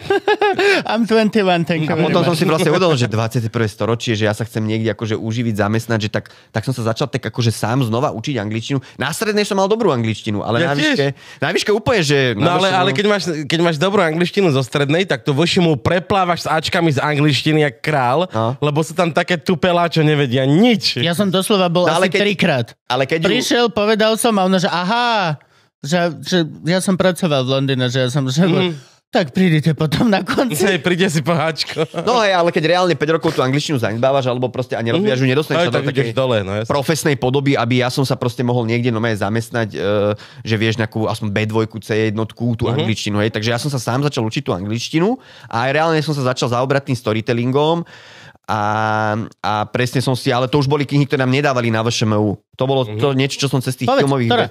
Filmových vecov. Ja som akože potom dosť pre, naskočil na takú, že neoformalizmus. To už je ale dosť podrobná debata, neviem, či tu chcem zaťažať. No v Čechách to celkom dosť fičí, českí kritici sú aj také dosť že hviezdy, napríklad Kamil Fila alebo Radomír de Kokeš, to sú neoformalistickí kritici, ktorí vlastne presne píšu o tom filme tak moderne a uznávajú aj tie komerčné filmy, nielen tie artové a hľadajú to dobre aj v tých komerčných a proste, ale zároveň to sú takí, že Umbertovia, Ekovia, totálne, že super brain ľudia, ktorí majú šialený prehľad a vedia preargumentovať tých starých kritikov, ktorí len ochkajú nad Jakubiskom, Novou vlnou a tak ďalej. Mhm. Videl Takže- si Lego príbeh? Hej, Je to jasné. geniálne. No však áno, však oni presne oni Je popkultúru to rozberajú. geniálne. A, no. a ja som akože dosť naskočil na, tú, na ten neoformalizmus, aj na ich recenzie a ich spôsob rozmýšľania o filme a potom vlastne som sa dostal priamo k tým knihám, z ktorých oni vychádzajú, to je David Bordwell a Kristin Thompsonová, čo na Slovensku nie sú nejaké známe mená, ale oni sú niečo fakt ako Umberto Eco v oblasti rozmýšľania o filme. Mm-hmm. Že v Amerike neviem kde, to sú to, ja som ho potom raz stretol naživo na jednom filmovom festivale a fakt, aké by si stretol ty kokos svoju najväčšiu hviezdu, vieš. A ja som si potom čítal tie ich knihy a tak ďalej a tam, a jak som si to čítal, tak to je presne taký ten moment dosvetenia, že aha, tak toto je, veď to je úplne jednoduché, prečo nám to nepovedali na VŠMU, vieš? Lebo vlastne to, do, teraz už to vyšlo aj v češtine, ale napríklad keď ja som ešte študoval, vtedy sa to ešte len prekladalo do češtiny, takže my sme to ani nemohli čítať presne po česky, po slovensky a presne to VŠMU bolo limitované tým, že nejaké staré knihy, ktoré vyšli v češtine, slovenčine, tá škola vlastne tým pádom je veľmi neaktuálna. Toto je, toto je problém celkovo no. akože slovenského školstva a tak všeobecné. Ale akože d- updaty vďaka Bohu práve teraz prichádzajú práve vďaka internetom a týmto veciam. to, je, to je úplne a, super. Ale To aj je vidno, že napríklad o tú vršomu už nie je až taký záujem. Hej, že presne Fakt? ľudia, no jasne, tam už, ja ešte keď som sa hlásil, hej, rok 2006, Však najlepšia škola na tak svete. hlavne deti. robíme dosť reklamu už Dajte 3 sa roky týmto dokopy. ani Najlepšia reklama. škola na svete. No však ale tí ľudia im vidia, že tá škola im reklamu. nemá moc čo ponúknuť. Už na ten pohľad, už ako tá ko- škola vizuálne Mhm. komunikuje. Vieš, dneska ľudia, čo všetci chcú ísť na Masaričku do Brna alebo na Čes, vieš, školy, ktoré majú dobrý marketing, vedia tých ľudí pritiahnuť, ktorí majú čo ponúknuť, idú skôr na mediálnu komunikáciu a tak ďalej. Mhm. Lebo kto už, ja keď som sa hlásil na tú scenaristiku 2006, tak sa nás hlásilo ešte, že 45 a brali desiatich, to ešte bolo také, že teraz už sa tam výrazne menej ľudí hlási, ale sú odbory na tej filmovej fakulte, kde chcú zobrať 6 ľudí a prihlásia sa 4. Mhm. Vieš. A presne, že to je to, že tá, tí ľudia už, že, že, že ešte v 90 rokoch, možno po roku 2000 bola tá situácia iná, ale teraz už e, tí ľudia nevedia prečo, akože nemajú túžbu ísť na VŠMU, na dokumentárnu režiu, alebo vieš, to sú odbory, ktoré Mm. proste, a, a tá, e, tá škola vlastne ne, nepôsobí akože na prvý pohľad moderne, alebo niečo, prečo by si tam chcel ísť, vieš. Nie, nie, nie, nie, nie, nie. Ja teraz hovorím o filmovej fakulte. A divadelná. Divadelné je to A isté. divadelná pôsobí ako konzervatórium z 80 rokov. No. Ale má to svoj šmrnc. Ako ja nehovorím, ja to nechcem úplne hejtovať, vieš, a aj som už na tej škole 10 rokov není, určite sa tam veľa vecí zmenilo. ale hovorím, že, uh, že vlastne presne, že ja, ja som tam bol 5 rokov a nám dali dve, tri knihy prečítať presne slovensky po česky a že tieto veci v angličtine som sa k ním dostal, pretože už som nebol debil a naučil som sa angličtinu a cez nejaké úplne že iné zdroje a začal som sa fakt hĺbkovejšie zaujímať o tom filme, o tom storytellingu a presne som si aj uvedomil, že to chcem robiť, že proste to ma bude baviť, bude ma to naplňať a som si aj uvedomil, že to je šialené remeslo, na ktoré musíš mať strašne veľa načítané, je to siahodlhá robota a vtedy som aj tie slova ktoré som prvýkrát čítal v 18, že bude to trvať 10 rokov, pochopil, že áno, bude to trvať 10 rokov. A vlastne, že to sa musíš naučiť, vieš, potom som proste si z Ameriky objednal nejaké knihy a tak ďalej, fakt, že také tie hollywoodske uh, príručky, ako napísať ten fakt, že dobrý film. A Neil Gaiman má masterclass storytellingu. A, no, to, to robí vieš kúpiť za 200, 200 eur normálne, že nejaký 12 dielný uh, YouTube seminár s ním Hej, hej. o storytellingu. No a to sú veci, kde, kde vlastne sa popisuje proste, to je že 500 stranová kniha, hej. Akože dovtedy sme mali niečo obdobné, že Sid Field, jak napsať dobrý scenář, to vyšlo v češtine, mm-hmm. ale to bolo také vyslovene, že také, že jak keď po- porovnávaš, že ja neviem, Jamieho Oliviera s uh, Giskou Oňovou, jak, mm-hmm. vieš proste, že úplne, že rozdiel. Ten, jak, jak, jak napsal dobrý scenár, že bolo to tam akože opísané, že asi takto sa to robí a to sme my aj s tým boli v styku, vieš, ale zároveň sme tým pohrdali, lebo to je tá americká príručka na tie proste úspešné šablonovité filmy. Ale ja som si potom našiel ďalšiu, kde vlastne to bola 500 stranová kniha, uh, The Story od Mekkyho, čo je tiež na západe úplne bežne známá vec. My sme to moc nepoznali. To je Slovak bývalý. Uh, Robert Mekky. Meky. Hej? No, Taký šbírka, hej. Je bratranec. no, tak to som si objednal a to bola proste taká 500 stranová kniha a normálne som si to prečítal a to bolo jak skripta zo statiky. Tam boli grafy, tam bolo všetko do podrobná, do poslednej bodky vysvetlené. Tam nebolo len, že film má mať tri akty a akt sa rozdieluje na scény. To bolo v tom Sitfieldovi, ale v Mekin bolo a sekvencia sa ešte rozdeľuje na fázy a vieš, a ešte asi úplne, že do poslednej repliky pohnutia brvou herca, rozanalizovaný, jak máš ty vystavať ten príbeh, jak proste koľko fáz to má mať, jak sa to má vyvíjať, jak máš gradovať ten príbeh a tak ďalej. A to je presne to, čo na Slovensku sa neučí, preto tie filmy opäť nechcem nikoho hejtovať, ale pôsobia riedko. Proste sedíš tam, nudíš sa, nič sa tam nedieje. Mm-hmm. to, Ja som minule videl ten, čo sa stratil maštalír v lese. Strašne dlho sa strácal. No, To bolo oni, to, len hovorím. len- Fúr, tam je, tam je proste to napísať to dobre, vystavať to, je, je proste uh, fakt náročný proces, kde ty jednak musíš mať brutálne k tej téme veľa naštudované a musí to byť, ten deň musí byť hustý, hej? Že aj Tarantino, keď píše scenár, on má proste, že 400-500 strán a fakt, že potom je to dvojhodinový film. A na, 300 iba zaberí na nohy. hej. Prečo sa on tak nesnaží skrývať ten food fetish? To je až nechutné niekedy. To je... no, On ťa núti, aby si s ním prežíval ten jeho food fetish, čo on má. najlepšia tá proste- scéna Oh, od somraku do úsvitu. Tak cudzí chlap, ktorý by ti ukazoval porno, že hen, pozri, toto ma baví, hen, hen, a ty, že kamo, ne, prečo, Hej. jo, cítim sa divné proste. No. Len aby ste vedeli. Teraz už nikdy nebudete vidieť Tarantinové filmy rovnako. proste nejak som sa to potom už tak svojpomocne učil, bol som aj na jednom takom medzinárodnom workshope, to mi tiež veľmi pomohlo. Kde? Uh, to je uh, uh, v Prahe aj na Slovensku, to je taký pobyt, volá to, že Midpoint, tam som šiel, to som mal tiež šťastie, že som sa tam nejak dostal. Hej, Ešte to funguje? Vedia to využiť ľudkovia? Jasné, Že však stále tam chodia študenti scenaristiky. Však akože hovorím, že tá situácia sa zmenila, aj sa to akoby lepší a sú presne rôzne takéto schémy a rôzne pitching fóra a neviem čo proste po festivaloch, kde sa to akože vyvíja, tie filmy a už fakt, ako hovorím o situácii z pred desiatich rokov, takže veľa sa asi už zmenilo a asi už aj v dnešnej dobe majú tí študenti scenaristiky prístup aj k iným zdrojom, knihám, skriptám a tak ďalej a, a, a dostanú sa k tomu skôr, ako sme sa treba dostali my a, a tam vlastne uh, sa dostaneš akože do kontaktu s tou praxou, realitou viacej a na, na tých na tých medzinárodných workshopoch, lebo tam je to tak koncipované, že ty si člen študent, prídeš tam so svojou prácu nejakou, ale potom už máš nejaké pitching forum s nejakými producentami Mhm. Mhm. a, a s nejakými proste stelky ľuďmi a tak samozrejme málo kto si ťa vyberie hneď tam, ale už sa nejak, niečo sa im možno páči, že dobre si to napísal, ale to nás nezaujíma, ale zoberieme ťa robiť na takýto projekt a tak ďalej, hej.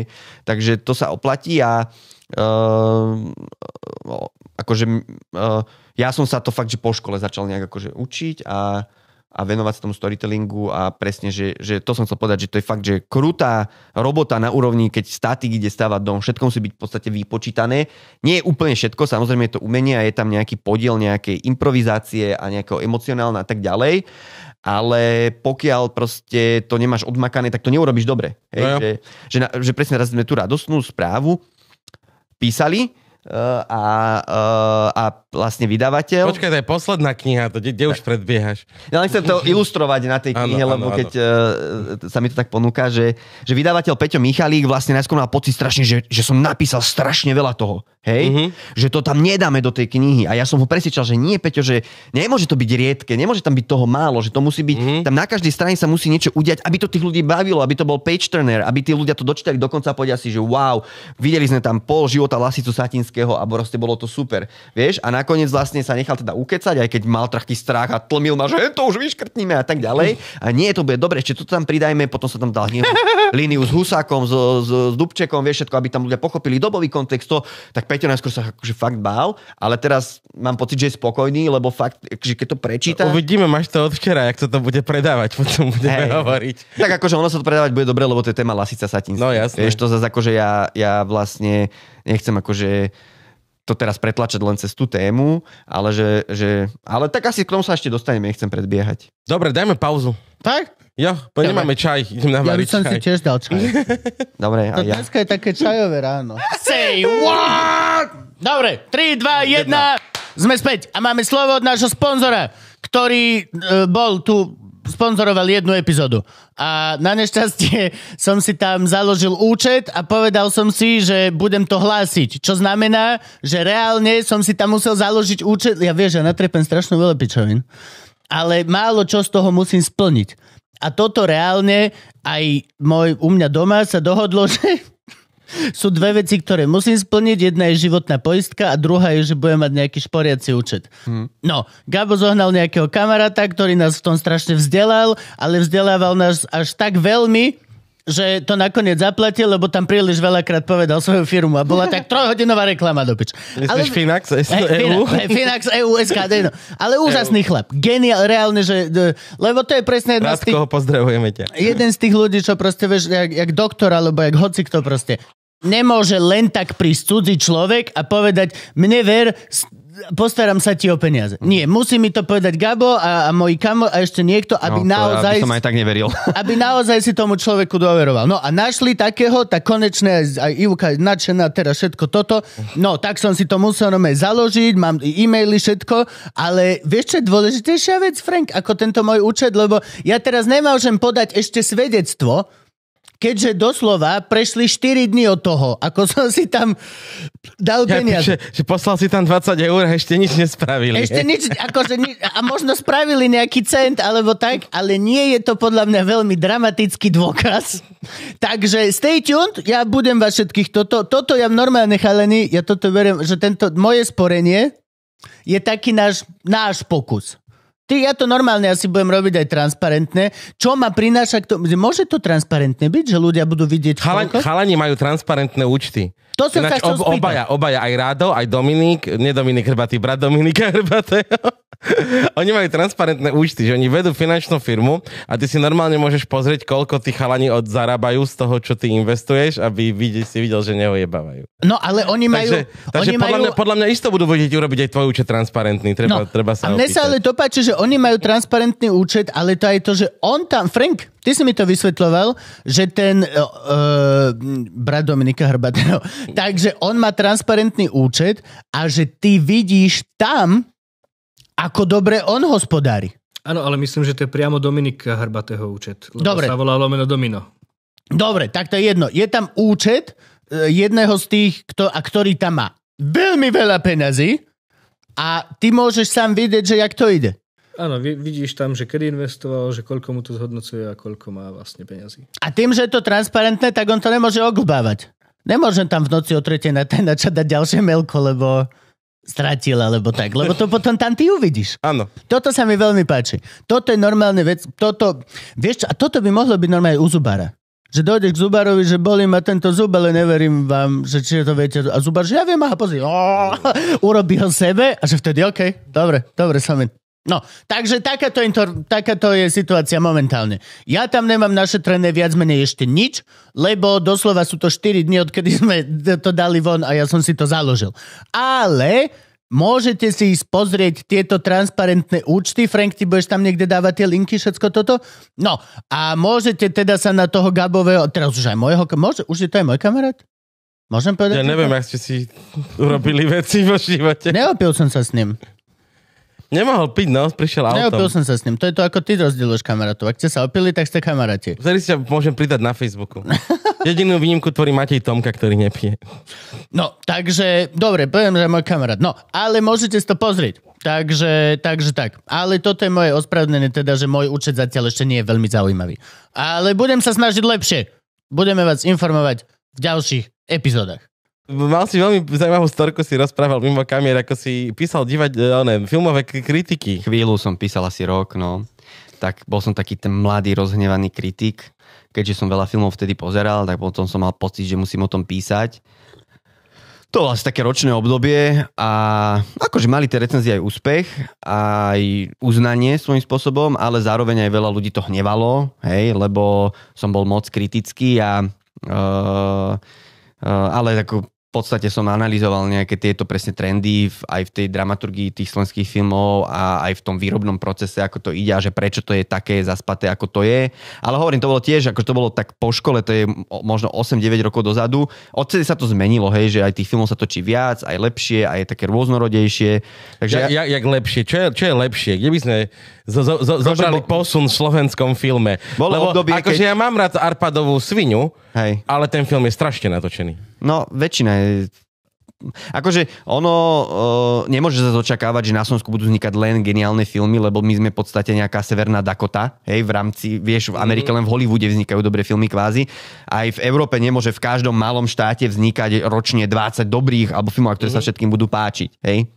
No, a ja to už ani úprimne nesledujem, potom, jak som tie recenzie písal, tak som pochopil, že to je také hádzanie hrachu na stenu, tak som s tým prestal. No, všetky aj divadelné recenzie sú na 99% hádzanie hrachu na stenu. No. Pre koho to píšeš? Takže ono v podstate to, to ani nemá zmysel, že ten ekosystém nejako funguje a ty to nezmeníš a keď chceš ty robiť svoj projekt, to som tak pochopil, že na čo ja budem písať o tom, čo robia iní, idem robiť ja dačo, hej, a budem ja nejako tvoriť a tak ako takým pozitívnym smerom som začal skôr investovať svoju energiu, ako do toho, že budem niekoho hejtovať. Akože hejty sú super, je to sranda, ale zase na druhú stranu troška ťa to aj vyciciava a keď robíš niečo Extrémne. A je to No. podľa mňa je to akože ti to kazí život. Hej. Podľa mňa ti to kazí život. No, takže toto som robil chvíľu a, a potom vlastne som pochopil, že už to nechcem robiť. A ty sa pýtal, že tie slovenské filmy teda... Hej, teda, že, že kam sa posúvame? Teda, že keď si písal na tie e, staré kritiky, že e, čo, kde, tam- kde tam- sme teraz, kam sme sa posunuli a teda, čo by sme možno vedeli Nechcem, chváliť nechcem o tom vlastne ani kinematografii. pretože fakt tie posledných 5 rokov to už nesledujem vôbec. Vôbec, hej, hej neviem. ten akože nový slovenský film.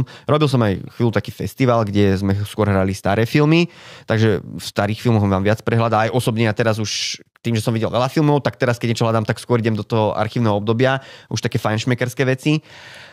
A e, takže ja ani nechcem posúvať súčasnú ako Slovensku. Sem tam si idem teda niečo pozrieť, alebo keď je nejaký veľký hype, tak idem proste na nejaký slovenský film, aby som teda nebol úplný odľud, že nemám vôbec prehľad. Napríklad, e, neviem, neviem, že čo som dobre posledné slovenské videl. E, a bude svetlo, to bola taká artovka, ktorá bola relatívne dobrá, alebo že teda akože mal to dobrý scenár a hej, že na Slovensku vzniká veľa tých artoviek a presne, že jedna, dve z toho je taká, akože, že aj ťa to baví a nezaspíš, že to není len, že chodí dodávka s boxerom z jednej strany kamery na druhú a stojí to mega. No takže uh, vieš, že, že, aj, akože uznám, sú aj tam tie dobré filmy a hovorím, nemôže byť 10 dobrých.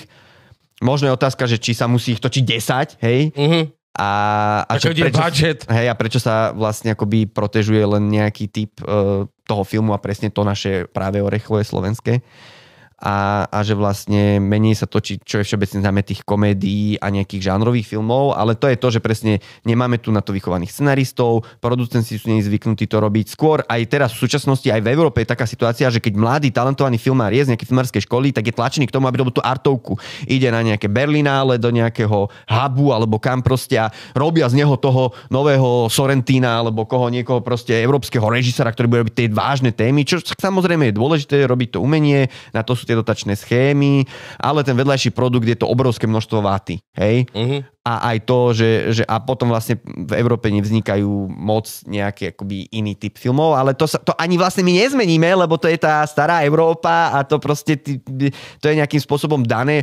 Uh, Azíci robia brutálne storytellingové filmy, príbehy, hej, pozrieš si proste tie azijské aj klubové filmy, tak vidíš, že oni majú tak zmaknuté tie príbehy, že tam sedíš prikovaný, uh, hoci čo uh, si pozrieš proste z Japonska, z uh, alebo z, z Koreje, hej, že tí filmári sú fakt dobrí, uh, ale tá Európa, vieš, že, že to je tak ako, že tu je ten storytelling taký zaspatý, tu sa robia také tie, mm, ja to volám, že midkult, to je také, že máš také základné rozdelenie, že mass kult a midkult.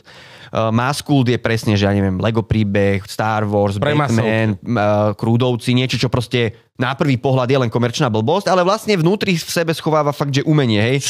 Lego príbeh ja na to nedám dopustiť. No, to že, je, že to sú, je sú vraj, rôzne, oh. alebo aj, ja mám veľmi rád taký animák, že Krúdovci, čo vlastne je, že rodinný animák pre deti, ale Áno. vlastne to je príbeh o kríze tradičnej rodiny, hej, o, o vlastne takom e, xenofobnom otcovi, vieš, a že proste akože, že fakt v tom maskulte vlastne vieš nájsť aj to umenie a aj, aj akoby, že, že má to ten message. Uh, alebo aj v podstate Nolanny má kult, aj Tarantino, hej, že niečo proste Mm. kvázi pre masy, ale je v tomto dobré. A potom máš ten midkult, uh, tomu sa povie, že priemerné umenie alebo prostredné umenie, to je niečo, že nie je to, že uh, to, je vlastne, to sú tie artovky. To je niečo, čo vlastne akoby sa tvári, že my sme to umenie, my sme v rámci toho filmového rebríčka to najviac, my sme ešte nad tým Star Warsom, lebo my sme to originálne, to nové, to, čo prináša nové témy a je natočené experimentálne. Mhm. Ale vlastne uh, koľko z tých filmov je skutočne to experimentálne a prináša niečo nové. V konečnom dôsledku je to len, že obrovské vrece rovnakých artových filmov, na dlhé zábery, uh, o rovnakých témach, bez niečo akoby výraznejšie Mhm. zaujímavého, ale má to svoju cieľovku, takú tú, ktorá proste na to ide a dojíma sa, že o, to bolo krásne, to bolo o skutočnom živote, vieš, a, toto, dá a to je ten negatívny efekt toho midkultu, že produkuje presne tých ľudí, ktorí vlastne v konečnom dôsledku ani nepotrábili svoje mozgové bunky, ako keby išli na nového Nolana, ale išli sa dojímať nad novým Sorrentinom, ktorý tam má tie pekné reklamné zábery a neviem čo a hrá tam do toho klasická hudba. Hej? Že to je, to je ten mit, takže že vlastne Ja niečo pod tým? No a Má zmyt a... nie, nie, to je tak, tak sa to akože ro- rozdiel má. Potom máš akože samozrejme máš akože brakovky úplne, Mhm. hej, že proste presne, že ja neviem, uh, Evita, povedzme to otvorene. alebo akože vyslovene, že tie zlé komerčné filmy, hej, ale potom máš tie, akoby ten maskul, to je to vlastne to, čo vyzerá ako... Ale veď to tvorí väčšinu slovenskej filmovej tvorby, tvoria zlé komerčné filmy. Ani nie, máš veľa presne takých tých artových, ktoré že vlastne to akoby... nevieš. Ale Nevieš? čo ja viem, tak napríklad to ten šťastný nový rok, čo to bola tá gigantická reklama na hej, JNT. to je vlastne Jakub Kroner. Uh, Asi neviem. Áno, to je, to je vlastne, ale to je taká ako iná línia, taká tá komerčná, že presne nerobme len tie filmy, ja neviem, o sociálne slabšej rodine na Slovensku, ktorá, vieš, že Mhm. to je taká tá hlavná línia a potom máš takú tu, že presne niekto príde, alebo sú aj ľudia, neviem, myslím Nunez, alebo ešte ktorý títo taký televízny projekt, ktorí urobia sem tam presne niečo takéto akože komerčnejšie, čo ale ne- nedopadne dobre, pretože Ale urobiť... do- zaplatil to Tatry Mountain Resorts, takže je to Áno, jedno. ale majú, že tam, tam to sa platí akoby zo nejakých súkromných zdrojov, vieš, telky do toho zainvestujú, aby mali aj čo hrať tie telky. To je taký ten opačný pol, ale to nedopadne dobre preto, že presne nemajú tých remeselníkov dobrých, tých scenaristov, proste není to súčasťou nejakého väčšieho systému, ktorý fakt má vyprodukovaných profesionálov.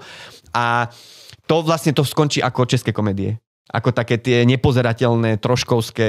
Tie, tie nové české komédie, no, hej, no, nebavíme sa o tej klasike. Tie, nie, tie socialistické, ale hej, že, že vlastne je to tak, akože taký paškvil, ktorý ale vlastne tam nemáš ani dobrý príbeh, ani to je vtipné. A že, že, to je strašne ťažké urobiť, ale tiež ako nevidel som ich všetky, nechcem ich posudzovať, Mhm. ale akože je to dobré, že je aj takéto niečo, že robí to ten komerčný segment a, a, a že vzniká aj niečo iné a hovorím, aj tam sa niečo podarí, aj v tých artovkách sa niečo podarí, takže akože asi takáto nejaká je tá situácia uh, na, na, tom, na tom trhu, ale vlastne hovorím, no proste tak, taký komplexnejší problém, že, že hej, boli dobrí akoby žánroví režiséri, alebo kvázi, že takí, že inovatívni aj v Európe, ale presne potom všetci odišli do Ameriky. Toto alebo... som napríklad ja nikdy veľmi nechápal, prečo sa tak pluje na Hollywood v týchto dlhých kabátoch spoza kaviarne s, s klobukmi, No tak s to je, fajkou v ruke. to je taká kultúrna vojna, alebo Áno, také niečo. áno, no, ale proste- prečo? Prečo? No tak lebo proste tá Európa má inú kultúrnu tradíciu, my sme tu proste tisícročné od rímskej ríše, neviem čo, a tí Američania majú tam tých svojich 400 rokov či koľko, vieš. Oni, to je Mhm. vlastne, to je tá danosť toho národa, že proste uh, to moderné kino komerčné je späté s tou americkou kultúrou a to je proste ten ich druh zábavy, ktorá vlastne tým imperialistickým spôsobom poholcuje aj ten zvyšok sveta. No hej, ale my už nie sme komunisti. Už nemusíme mať toto, že proste to, je, to zlo, je to zlo, vieš. Teraz e, No, však, momentálne... e, ani to nie je, tak úplne nie sú generácie, ktoré už to tak nemajú. Ale vieš čo, momentálne v axiome, keď povieš blockbuster, tak to nikdy neznamená dobrá vec. Nikdy. Hej, Je tak to- podľa je to toho, s kým sa nadávka. bavíš? Podľa Je toho, to- s kým sa no, bavíš? však Vieš, V aj, aj, axiome, s kým sa bavíš v axiome asi, že hej? poznám 50 ktorí majú radi komiksy a sú proste, majú radi popkultúru. To je proste presne, že kto na čom no, to, vyrastal. to, ja som, toto som nikdy veľmi nechápal, že prečo v týchto artových kruhoch vlastne sa strašne takto vždy plulo a bo, bolo to ne, ani len nechod Ako- do kina a toto Ja som presne toto robil, na no. Ačko, no veď áno, veď Že bol, bol som ten, ale to bol ale už presne tým, že... rozumnejšie. Kým som išiel na VŠMU, tak som mal rád aj Besona, aj, aj ja neviem Mhm. čo, aj, aj nejaké tie one... Ja milujem Besona dodnes. No však jasné, alebo som mal rád proste mať nejaké akčné filmy, ale na tom VŠMU už ste dostali tam Get Structured. Áno, Vieš, že tu áno. je nová vlna. Nemôžeš, nemôžeš. Presne, toto Bergman, Fellini, toto to sú dobré a Almodovar, však čo sú tiež dobré filmy a mám ich rád doteraz, hej. Ale vlastne to tak akože dostanú do také oného a proste um, to je taký, presne to je taká nejaká taká kultúrna vojna, alebo to je to, že ty máš tvoriť tú pôvodnú slovenskú tvorbu, niečo sa odliší od tých Američanov a tak ďalej, čo a vlastne aj chápem a je to pravda, máš to robiť a, a je to Ale dobré, to sú len ale... procesy. To sú len procesy. Proste Hollywood je úžasný v tom, že má úžasné procesy, technológie, všetky tieto Hej, veci. no. Akože podľa mňa je to úplne hlu, také, hociaké takéto proste, ako keby táborovanie sa bolo, že pre mňa vždy úplne nepochopiteľne hlúpe. No ale, ale je doteraz ten svet na tých nejakých o, o, kultúrnych Je, ideologických no. vlnách postavený. Ale si zober, že hej, však čo sa deje teraz, hej, o, t- Prejdi v dezi- tričku. dezinformácie a tak ďalej, No, no, no. to, je, to je s tým nejako späté a to je to vlastne, o, si zober, že aj to, že presne u nás sa to tak vníma a presne tá staršia generácia našich rodičov a tak ďalej, že už len vidia zbraň vo filme a už majú z toho strach, Mhm. hej, alebo že tam strašidelná hudba, tak to je presne to, že to, to bolo tak negatívne už za komunistov vnímané. Áno, to sú tie zlé americké filmy, Toto je akčné, ten presne brak. ešte pre mňa, ja k tomuto som sa chcel dostať, že to je pozostatok. No je to a- proste, to je, to je vojna, ktor, názor z vojny, ktorá už sa nebojuje, akurát nám tu zostal sa učiť na školách. Iš. Hej, lebo za socializmu vlastne aj ruské filmy, aj sovietské, keď boli, a, a, tak vlastne oni vojnu zobrazovali tak ako pietnejšie a nebolo to vlastne ako, že aj smrť, alebo čo, to bolo proste ako tak existence pietne. Kdežto v Američanoch si pozrieš proste Total Recall, vieš, tak, No ja- tak tam zabije v jednom zábere 20 ľudí a vlastne je to už Ani nejaký... neprebije zásobník. ne? To je taký body art, vieš, alebo čo, že už vlastne ide o to, ako to abstraktne vyzerá, ak tam lietajú tie končatiny a to, to je, vieš, a kdežto, vieš, a toto keď naši profesori na No to má VŠMU- mimozemšťanka tri prsníky, keď No. sa bavíme Total Recall, to nemôžeme vynechať. Ja si pamätám, ako aj naši profesori uh, tiež proste nemali radi tieto akože americké filmy. Jeden hovoril, že Leon od Besona je zlý film, lebo proste, veď to je zvrhlé, aby s takým To mladým není, dievčaťom... to není americký film. No a to nie je ani americký. No, to už točil v Amerike. To už to bolo no. americké? No, to už točil v Amerike. Ale hovoril presne, že, že jak môže mať nejaký starý zabijak vzťah s takou mladou dievčinou, to je nemorálne. Alebo že jeden No, to profesor... zaujíma. Jeden profesor hovoril, boli sme v kine na Fargo. Na prstoch som počítal tie zbytočné mŕtvoly. že oni mysleli, že... A jeden, náš jeden profesor nenávidel Tarantína. Ako sa na to môžu ľudia smiať, že on tam zastrelí toho Černocha v tom, v tom aute, že mu hlavu, hlava mu tam rozprskne a ľudia sa smejú v kine. No to je hrozné. Vieš, že proste oni žijú presne v tých 60 rokoch, v tých artových filmoch, pomalých, kde všetko bolo len existenciálne, aké nejaká smrť, tak veľmi v náznaku pietne, vieš. A to, a to je spojené s ideológiou, no aj komunistickou a s celým tým vlastne 20. storočím a všetkým týmto, pretože vlastne Uh, oni mali ten film skôr ako také sedatívum, vieš, uh-huh. a vlastne komunistická ideológia sa snažila vytvárať ten gíč toho dokonalého sveta, proste To tej bol istoty. nástroj, propagandistický lomeno ovládať ľudí nástroj. Tiež Proste- tie americké filmy, keď máš, tie dramatické, kde fakt akože sa deje nejaký crime a čo, tak psychologicky a existenciálne na človeka vplývajú tak, že "Oh, niečo sa deje, panika, vieš, preto proste tá staršia generácia uh, má z toho strach a chce už všeličo v živote zažila, hrozné, možno aj vojnu alebo čo a, a oni už len keď počujú tú strašidelnú hudbu z nejakého thrilleru večer na market, tak rýchlo prepínajú na zahradkára alebo kam, alebo na nejakú proste, vieš, niečo, čo, čo vlastne ich ukludní. Hej, čože ja samozrejme aj úplne chápem a tam je ten vlastne úplne, že keď ideš do hĺbky tohoto ideologického problému. No. hej. Jo, toto, toto, presne toto som sa chcel takto nejako k tomu dostať. Ale to zaujímavé, lebo vlastne... A nová generácia už týmto netrpí vôbec. Snáď. No Či stále, ešte, ešte stále nemôžem akože prejsť z stále- Lego nie, nie, tričku okolo Lumieru? To sa nezmení. Toto sa nezmení mm. a aj keď vidíš teraz mojich rovesníkov alebo ďalších ľudí, čo prichádzajú z tých umeleckých škôl filmových a natočia tie svoje prefilmy, tak sú to stále tie ako v podstate midkultové artovky, mm. lebo to prešlo tým kolom všelijakých proste artových festivalov, lebo to je samostatný trh, ktorý chce tie artové filmy a musia oni niečo také voľaké robiť, vieš. Takže ja poznám aj ľudí, ktorí proste boli brutálne talentovaní a vedeli robiť žánrové veci, alebo nielen žánrové veci, ne, nechcem to škatulkovať, proste mohli robiť svoje originálne umenie, ale skončili s tým, že robia priemerné artovky. Vieš, lebo ten systém ich nejako zožul, nerobia buď nič, alebo robia tieto priemerné, šedivé artovky e, a pritom sú to vtipní ľudia, ktorí majú nápady, sú proste, ale robia toto, lebo ten systém ich zomlel. A proste to na Slovensku ani neurobíš, lebo presne, že film, že socialistický zombie mord, Oh. čo je jediná slovenská fakt, že brutálne krásna taká trešová žánrovka vznikla úplne mimo túto štruktúru. To je presne to, ako keď vy si robíte nezávisle svoj podcast, hm? ste závislí len od vlastne ľudí, ktorí vás pozerajú a podporujú. Ďakujeme vám, A môžete robiť, čo chcete, môžete tu nadávať, vyjadrovať svoje názory. Tak e, v tom v svete filmu to presne tak je, že keď ty si chceš robiť ten svoj film, mm-hmm. presne musíš si dať nejaký crowdfunding, alebo môžeš to urobiť aj proste cez nejakých komerčné zdroje peniaze a tak ďalej, ale už vždycky tam je nejaký element tej dramaturgie toho, že aj ten, tá telka ti dáva tie peniaze, tam je dramaturg z telky, ktorý tam, aby to bolo takto, vieš. Každé peniaze prichádzajú s Áno.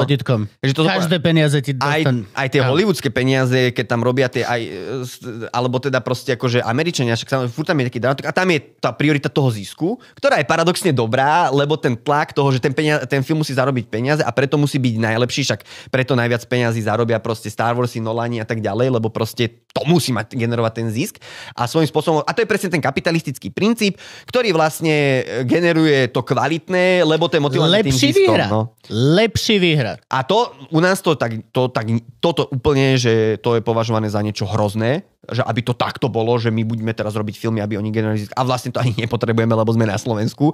Potrebujeme natočiť nejaký priemerný artový film, ktorý uvidí 3000 ľudí a zabudne sa na to, hej. To, že to je ťažké podľa mňa aj generovať zisk. To je zase ďalšia vec, to je veľmi ťažké na Slovensku, po slovensky, so slovenským filmom. Akože... To je presne ďalšia vec. Máme 5 miliónový trh maličký, Češi Kámo, my, majú my, 10, chodím, my chodíme lepšie. po kluboch. Ale Češi majú v naše filmy, nie? Vypredávame kluby, Češi. akože... Čo Češi? Češi, akože je tam nejaký dopyt po slovenskom filme? Dokážeš vôbec, tak... minimálny. No. Akože musí to byť nejaká... No, robia sa tie koprodukcie, to je iné, ale to sú také viac, že české filmy s nejakým slovenským podielom. hercom. Ale oni nemajú také ako my, že Maštali. máme radi české filmy. Oni... My nemáme radi české filmy. No ja nemám nie. rád český film, každý je hnedý. No. Vysvetli mi teraz, Ježiš, konečne niekto, kto Počúvate, ale nejdeme vedieť riešiť od- niečo iné ako filmy? Nie, ty mi musíš vedieť odpovedať na toto. Nikto mi doteraz nevedel odpovedať. Vadí mi jedna vec od uh, uh, nuda v Brne, jedna ruka netleská, pelíšky, všetko toto je hnedé. Není to hnedé. Však Je nuda v Brne je hnedé. černobiela. Nie, všetko je hnedé. E, Kaž, ce, všetky farby v záberoch sú hnedé. Farvoslepý? Všetky Ja budory som sú farboslepý. oranžovo hnedé. Ka- každý film má Vieš čo, to je... krémovo hnedofarebný nádych. Neviem, To je štýl. Celé pelíšky. Celé Áno. pelíšky sú tweedové. No. Celý film je oblečený do Ale tweedových... to je, to je, áno, perišky si dobre povedal, lebo tieto To možno je- nejakým spôsobom definovali, lebo ide o to, že Ale aj potom, ako keby len natočíš film a keď tam nemáš kulisy a tak, No. tak len cez to hodíš sepiový filter, alebo neviem ti to povedať, ale všetko mi príde. Aj No, tak emócia ale- je taká hnedá. Áno, ale to je to, že to je nejaký štýl, ktorý je nejako daný, Pelišky, dajme tomu, hej, je bol to úspešný film, tak jasne, že to potom všetci napodobňujú a že tie ostatné filmy vyzerajú rovnako. Tí kameramani v tých Čechách Aha. nejako pracujú, tí osvetľovači nejako pracujú, tí režiséri majú nejakú predstavu. Mhm. Zároveň to publikum je nachystané, že takto nejako vyzerá ten český film. Možno to nie je pre teba, ale v tých Čechách na to ročne príde proste, ja neviem, koľko miliónov ľudí a oni vedia, že sa im tá teplá, príjemná atmosféra zemi Ja- tá hnedá páči, tak to tak robia. Skôr mám pocit, že akože hoci čo, čo sa odohráva v minulosti alebo počas komunizmu, že len táto dajme do bežového celé všetko do onedého. A spot Je to taká on, motherfucker. no. To je, ale to sú už- fakt, že... Je ale ich, že veľa. Hej. teraz, teraz to začnete všímať. A normálne to... za- to Ja, ja, by som, ja by som uzavrel túto filmovú uh, kapitolu tým zombie mordom. Zombie mordom, A dobre. to aj dávam tip na Laca Blažeka, ktorý Kde sa to vlastne dá vidieť? bol taký Ja ťahač to toho projektu, nevidel. že by si ho mali zavolať, lebo ten má brutálne historky z natáčania toho filmu. Kde sa to dá vidieť? O, dá sa to kúpiť ešte, myslím, stále cez ich stránku. Oni to proste aj predávajú na Blu-rayoch, a, alebo ja mu napíšem a, a, a nejaký Blu-ray vám zoženiem ešte, lebo to bol film, ktorý proste ma dostal, lebo presne to bolo niečo úplne iné a vlastne aj uzavriem, však som začal o ňom hovoriť, Áno. že, že oni si to natočili za svoje peniaze. Tam tuším dal nejaký inžinier alebo kto z Pezinka 20 tisíc eur alebo koľko, že, že a, to boli Mhm. ta, a to boli čisto presne fanušikovia, ľudia s pasiou, ktorí si povedali, že ne, my nechceme tu točiť nejaké proste artové dlhozáberové filmy, lebo to niekto chce. My si natočíme action žánrovku, jak to chceme, s pasiou. Jeden z nich mal nápad, že proste urobme volačo také, jak tie japonské filmy, kde dievčatá v minisukňách s gigantickými zbraniami zabíjajú tie Godzilla a takéto dačo, vieš? On že áno, že také dačo správame. Lenže do, že jaké kostýmy na Slovensku uh, nosia, uh, kto na Slovensku nosí kostýmy? Sexy Aké kostým potrebuje. Nikto. No pionieri. Jasné, tak dajme to do sociku. Tak oni to dali do sociku, Godzilla spraviť nevedeli, tak tam dali zombíkov, hej? A a, a normálne ten film samozrejme dostal kvalitné množstvo hejtu, ale Fakt? aj, ale viac bolo tých fanúšikov a viac Lebo bolo, to presne- bolo fresh as motherfucker. Áno, to ve, ve, ve, ale väčšina presne tých ľudí, ktorí to sleduje, povedali, že wow, že konečne, že nejaký proste Ja. niečo fresh, niečo iné. A normálne, a ja keď som proste človek, ktorý som sa tým zabíral, tým storytellingom filmu a tak ďalej a tým štýlom a som sa na to pozrel, tak si hovorím, OK, je to zrnité, nemali dobrú kameru, hej, OK, nemali na digitálne efekty, ale ten film funguje. Ja hodinu a pol ho chcem pozerať, je tam nejaký vývoj postav, je dobre zvládnutý ten žáner, je tam kopec srandy. A si hovorím, Vyzerá to lacno, hrali tam ochotníckí herci, ktorých nejakých školákov ponáborovali, ale ja si hovorím, toto je pre mňa najlepší film na roky roku, čo som videl. Vieš, že proste chcem viac takýchto filmov. Vieš, ja som ten film videl už 10 krát, uvádzal som ho asi 4 krát v nejakých festivaloch a tak ďalej, lebo som proste premietal, kde sa to dalo, lebo som chcel popropagovať. A proste ja som si hovoril, takéto filmy chcem. A, pre, a konečne som mal aj pocit, že to je dobrý film o komunizme, pretože furt nechceš pozerať tie patetické blbosti, klišoidné o eštebákoch. A toto bol film, v ktorom pionierky v minisukniach s tými pionierskými halapartňami prepichovali zombíkov, robili si tam srandu z Lenina, o, vieš, že, že celá tá socialistická škola zostala ostriekaná zombickou krvou, že to bola fakt akože tá deštrukcia tej socialistickej ideológie cez e, zombie žáner, vieš, že pre mňa geniálny film, vieš, že a presne, vznikol pred 8 rokov to robili, lebo presne nemali na to peniaze, potom Láco to ťahal. Tak dlho to... No jasné.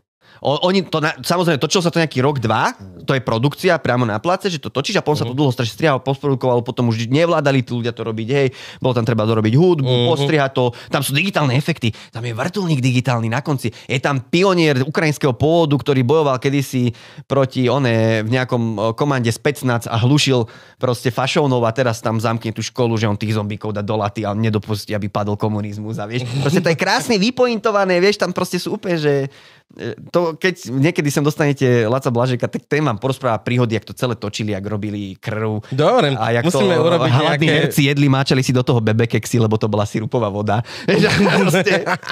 Ja vám film zabezpečím a môžete ho Musíme robiť popropagovať. nejaké masové premietanie socialistického zombie mordu. lebo ten Ja film... za- Aby potom To bolo- vedeli naši pozerači, čo, No, a to bola vlastne aj taká sviňárna, že vlastne produce, uh, distribútori im to nezobrali do kín, lebo to bolo povo, to bolo niečo ako podradné, Mhm. hej, technicky zlé a tak ďalej a to si nezaslúži kinodistribúciu, tak oni si to potom chudáci sami museli, Mhm. mm-hmm. čo teda ako, že keď máš kinodistribúciu, tak ten distribútor to nasadí po všetkých slovenských kinách. A máš, Samozrejme, nie všetci to zoberú, ale máš vybavené. Mhm. Keď sám si to distribuješ, tak musíš písať maily do jednotlivých kín a máš akoby, nedostane to do tej masovej distribúcie, akože ten film mohol mať tej masovej distribúcii, fakt by sa to chytilo, ľudia by na to začali chodiť, videli by, že to je sranda, mohol to mať 5 krát väčšiu návštevnosť, vieš. Oni ako firma mohli zarobiť na ďalšie film a mohli točiť ďalej. A tu ich ešte aj tá distribúcia pochovala, chápeš to?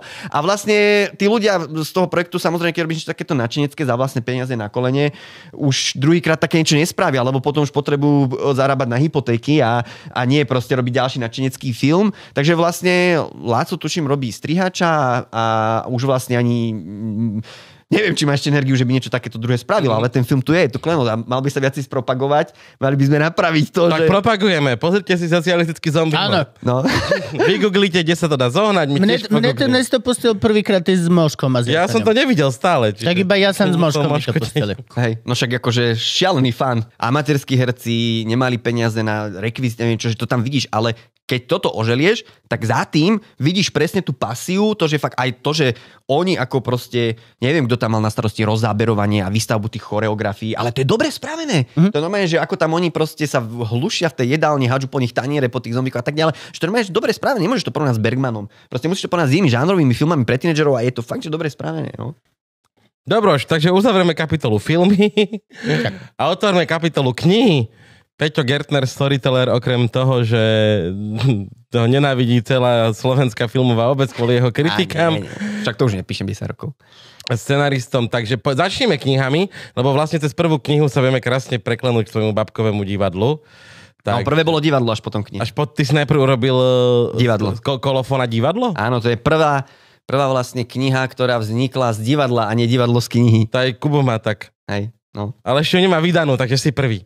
Hej, no to bolo 2015, e, vlastne vtedy sme v Bytči začali robiť taký festival Hviezdne noci a ja som tam robil predtým filmový klub a ten festival z toho vyplynul a ešte aj to divadlo z toho vyplynulo. Uh-huh. To bábkové divadlo, to bolo, jak som sa vrátil z toho Švedska, dal som tomu ten názov Morgon Rock a, a začal som robiť toto bábkové divadlo. No a tá pilotná hra, to som nazval, že očertový kolofónový, lebo som mal nejaké marionety doma, nejaké sme dorobili, ale tá hlavná marioneta bol čert.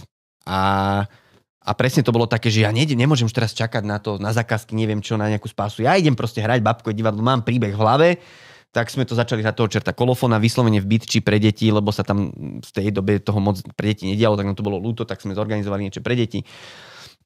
Zahrali sme babko divadlo, malo to akože taký úspech, taký nepoviem, že hneď e, spadli e, ľudia zo stoličky, ale malo to svoju komunitu, fanúšikov, ako keď robíš ochotnícke divadlo na malom meste a ale mňa to, ja som pochopil, že áno, že ja nemusím teraz čakať na to, že kde kto zoberie môj scenár a, a, a na robotu v telke, že, že ja môžem sa proste živiť hraním babkového divadla. A to som ešte vôbec netušil, že fakt existuje segment na Slovensku bábkových divadiel pre deti. Lebo však Mhm. som to neriešil, nemal som deti, bol som filmový intelektuál dovtedy, vieš, a zrazu, jak som my sme to zahrali, dali sme nejaké fotky na Facebook a zrazu sa mi začali ozývať ľudia z Trenčína, neviem, z ďalších miest, Mhm. že príďte zahrať aj k nám. A že čo, že hej, že páčilo sa vám to, že vyzerá to super, že dojdite, vieš. A my sme vlastne takýmto štýlom, že prvý rok sme zahrali v nejakých štyroch mestách a začalo sa to nábalovať, lebo keď hráš, tak ťa vidia a chcú ťa aj do iného mesta. A za, ja som pochopil No vlastne... ešte stále treba povedať, stále je, je, to, je to segment, áno, priznávame, je to segment, je to veľký segment, ale stále si na Slovensku, čo je malá dedina Áno. a všetci sa poznajú. Keď Áno. dobre zahráš v klube, proste v... Jak sa volá klub v Trenčine? Lúč. Lúč. Keď dobre zahráš v Lúči, tak už zrazu hráš Martine a už zrazu hráš tam. Je to proste, to je to veľmi malá no. komunita a ľudia sa poznajú. ale proste, no však jasne robíš a je toho veľa a proste veľa ľudí sa tým živí, že má proste takéto tie kočovné bábko divadla. A ja som to potom pochopil a zároveň som si uvedomil, že to je super, že ťa tam nikto nekontroluje, čo tam dávaš do tých hier, môžeš veľa improvizovať a nemusíš platiť tých hercov, hej, že si ich vyrežeš. Proste ja som, urobil, ja som si urobil bábku Čaputovej, vieš. Áno, videl som. No, proste, Lebo toho roku som ťa dostal na kremnické gigy. hej, hrali sme som, na gegoch kde som a... videl, videl Čaputovú. No, no, nie je to, že Čaputová, ale to Bola tak hot? ňou inšpirovaná. Je to, je, je, je hot, hot, hot. Je, je ňou Ale inšpirovaná. zase to musíme povedať, že to už je v tvojej druhej hre. To je už moja... Tri kocky droždia. To je štvrtá hra. Štvrtá, čože? Áno, ale v rámci kolofonovskej ságy je to číslo 2, ja to mám jak Star Wars, vieš, ja mám tie, tú hlavnú sériu a potom mám tie spin-offy a špeciály Mhm. okolo toho. A ty si videl Trikocky droždia, čo vlastne očertový kolofonový bola jednotka, Áno. Trikocky droždia sú dvojka a trojka je lovec plastov Zero Vaste. To je taký a... eco-western. A to je tiež s kolofónom. Samozrejme, ja mám všetko iba s kolofónom. Však ti hovorím, to je jak Star Wars, to je, proste, to je trilógia a potom mám špeciál Vianočný Zlaté prasa a ešte mám spin-off jednej vedľajšej postavy obľúbenej toho diviaka, ktorý, na ktorom jazdí kolofón, tak tá sa volá o diviačikovi. To teraz budeme hrať za dva týždne v Cvenovke, môžeš sa prísť pozrieť. Dobre. Čiže keby ste chceli Peťa vidieť, tak pravidelne hráva v Cvernovke v Bratislave. Áno, to mám teraz tako, že už to robím 7 rokov a vlastne aj som už tak začal hľadať, že by som mohol tak stálejšie hrať a Cvernovka zase chce prilákať rodiny s deťmi, tak aj som tam už predtým veľakrát hral a sa im páčilo, ako, to robíme, tak povedali, že nemôžete tu hrávať pravidelnejšie, no tak sme sa dohodli a teraz vlastne tam dvakrát mesačne sme hrávali, ale zase tretia vlna, tak hrávame iba raz mesačne a hráme vlastne všetkých týchto našich 5 hier, hej, že vlastne stane sa, že hráme, vždycky hráme ako prvého čerta kolofóna a potom, ešte potom hráme nejakú ďalšiu hru z tej Mhm. série. A prídu ľudia, vôbec nevedia, prídu na čerta kolofóna, si to pozrú, namotajú sa a zostanú tam ešte na tú druhú hru. Mhm. Mm-hmm. Že vlastne sú zvedaví, ako to bude pokračovať. Takže je to vlastne ako, ako taký seriál spravený. Musím odporúčať, vôbec nemusíte mať deti, choďte sa aj dospelí pozrieť na Peťa. Ja som ho videl na gegoch a je to sranda. Nie, Nájdete to- si tam veľa svojho. Je to veľká výhoda, my už sme to tu veľakrát hovorili, lebo je to obrovská pravda, ale v tomto bábkovom divadle nikdy nehráš iba pre dieťa, lebo to je vec, ktorú si treba uvedomiť. S každým dieťaťom sú, že jeden, väčšinou dvaja dospelí. Čo je už presilovka. No, jasne. Čo už je normálne je tam viac dospelí. No. Čo je Lebo keď nezabavíš absolútne- rodičov, neprídu na budúce. Neprídu. A už si A je- dohral. A, to je A oni platia za lístky. Presne tak, no. rovno. A znova sme pri Lego príbeh. To je to, čo robím. To, čo, to je babkové divadlo. Malé je takéto súkromného charakteru je doslova Lego príbeh. Hráš jednu rovinu pre deti, ktoré sú amazed, čo sa tam deje a hráš druhú rovinu úplne pre rodičov, ktorí sú že... "Uú." Model proste hollywoodského rodinného filmu, presne, že tam ide malé decko, to tam má nejaké gegy, potom sú tam tínedžeri a sú tam ešte aj rodičia. Že proste, že, že je to vlastne... A ja som, však presne takto som... Full spektrum. To Full spektrum zážitok. No, Tak. že, že vlastne musíš zabaviť všetkých, Musíš. aby presne, že ja to tiež sa snažím tak urobiť, že presne tam tá línia pre rodičov, tie deti to nechápu, to sú proste, ja si tam robím srandu aj z politiky, No veď. aj proste z, z čohokoľvek, mm-hmm. z ekológie, že úplne, že čo sa zrovna ten týždeň dialo, tak ja tam dávam do toho hlášky, hefty, ale je tam ten základný príbeh, No. sú tam nejaké zvieratka, je tam to dobrodružstvo, ktoré tie deti chápu, uh, identifikujú sa s tým čertom, kolofónom, fandia mu a to ich baví, vieš. A to, že oni sa nesmejú na nejakých akože vtipoch o cirkulárnej ekonomike alebo čo, ktoré tam ja proste akože dávam, tak to je zase pre tých rodičov. No. To sú pre nich len slova. Ja som No. na to, po, po nejakých rokoch som na to prišiel, že to sú pre nich len slova. A rodičia sa smejú, takže je dobre. To je to doslova, to je úplne pohode. Ja, ja toto, mm, ja osobne považujem to, keď ja som tak hrával s Legom, čo sme sa, e, spoločný kamarát, pozdravujeme ťa, Miško Lego. Lego, ktorý vlastne tiež na Žilinskej improlige, sme, Áno. a ja som tam s ním hral na improlige uh, v nejakých ko- kolách určite a vlastne ty si hral pre jeho babko divadlo. Áno, áno. On, keď došiel do Bratislavy z divadlo na Hojdačke, tak vlastne zobral len mňa. Hej. A my sami dvaja sme ťahali Aha, všetko. takto, lebo teraz už má nejaké dve partie. O, nie, áno, mal partiu ešte v Žiline a potom tu do Bratislavy sa už nestíhalo, tak potom vlastne zobral ešte babu, Mhm. moju spolužiačku z babkariny Hej. a potom ešte niekoho a keď som ja odišiel, tak musel zobrať troch Mhm. chalanov na miesto mňa. Zobral Simona Fica ešte jed- jedno, lebo tiež chalani majú menej času, ale my sme boli s Myšom šialení. No, však. To bolo, to bolo super. On Hej. došiel do Bratislavy, kúpil v Rajke byt, potreboval zaplatiť divadlo hypotéku. Reálne my sme hrávali 4 denne. To bolo... Ty brďo. A bolo Počkaj, to on si to sám manažuje? Áno. Takže volá, volá a zháňa kšefty, hej?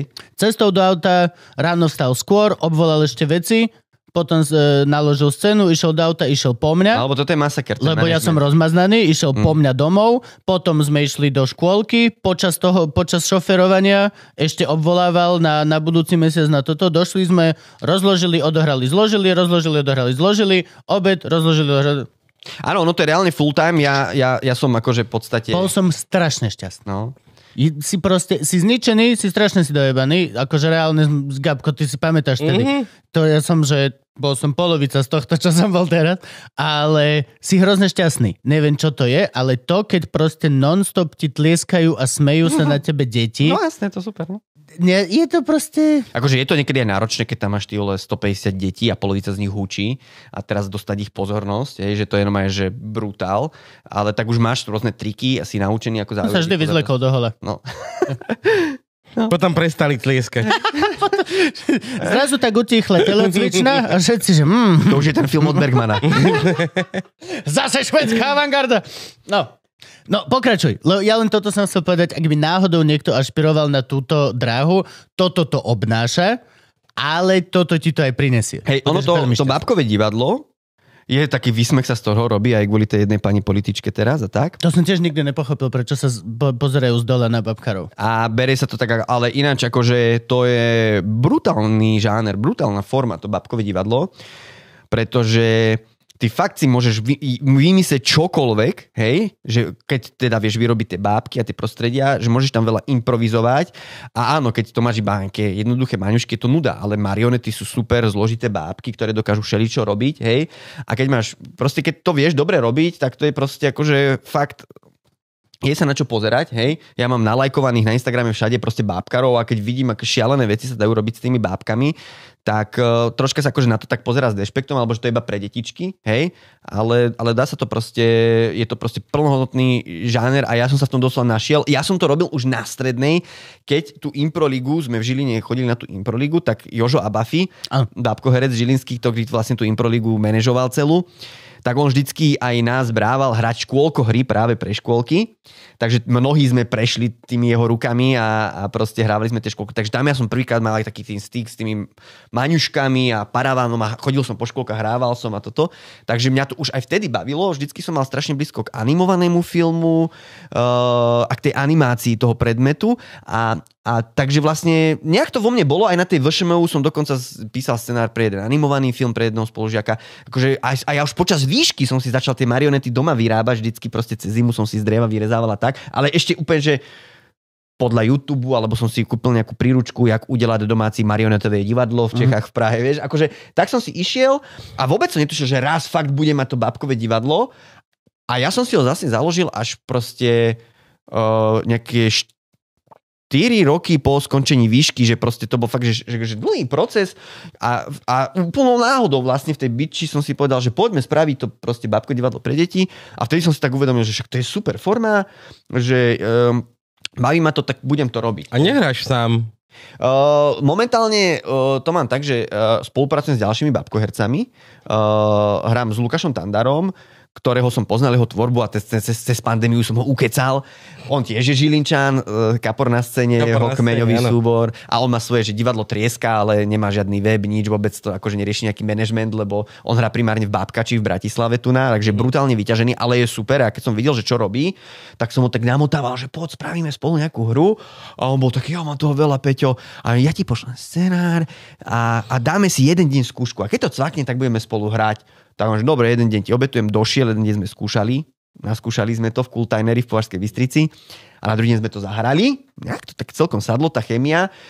A mám uh, hudobníka, Rada Hrbeka, ktorý vlastne je klasický gitarista, ktorý chodí na výšku na klasickú gitaru. A on vlastne je, je so mnou od začiatku, takže máme k tomu živú hudbu. A a ešte teraz hráme aj so Sidoniou Federovou z Feder Theater, ktorá tiež má svoje vlastné babkové divadlo. To je tak, že oni všetci tí ľudia v tejto branži majú svoje vlastné teda babkové divadlo. sa medzi sebou, No. umelci zase. A navzájom vlastne spolupracujeme. Je Ja to napríklad- úžasné, lebo niek- väčšinou, čo som ja stretol, tak všetci sa majú radi. No, je to No, taký... to super. Nestretneš, dobre, je, sú, sú je niektorí, ktorých nemáš rád, ale to je, že to sú ľudia, čo robia zlé meno. Že chlap zistí, že existuje tento segment, tak ide do Ikei, nakúpi si plišáky a ešte v Mhm. ten deň obvolá škôlky, že ponúka predstavenie. A ty, my sme došli a videli sme, že koniec, čo ako hral a to on iba chodil, hedede, hedede, doslova robil to, No, je toho veľa, no. čo, že ak, mňa ako babkara reálne, že kámo. Mhm. A, a vtedy aj s Myšom bol, že nie, že pane, nie. Lebo- Ale všetko ostatné, pokiaľ si proste z branže a robíš to naozaj preto, tam ľudia sa majú extrémne radi.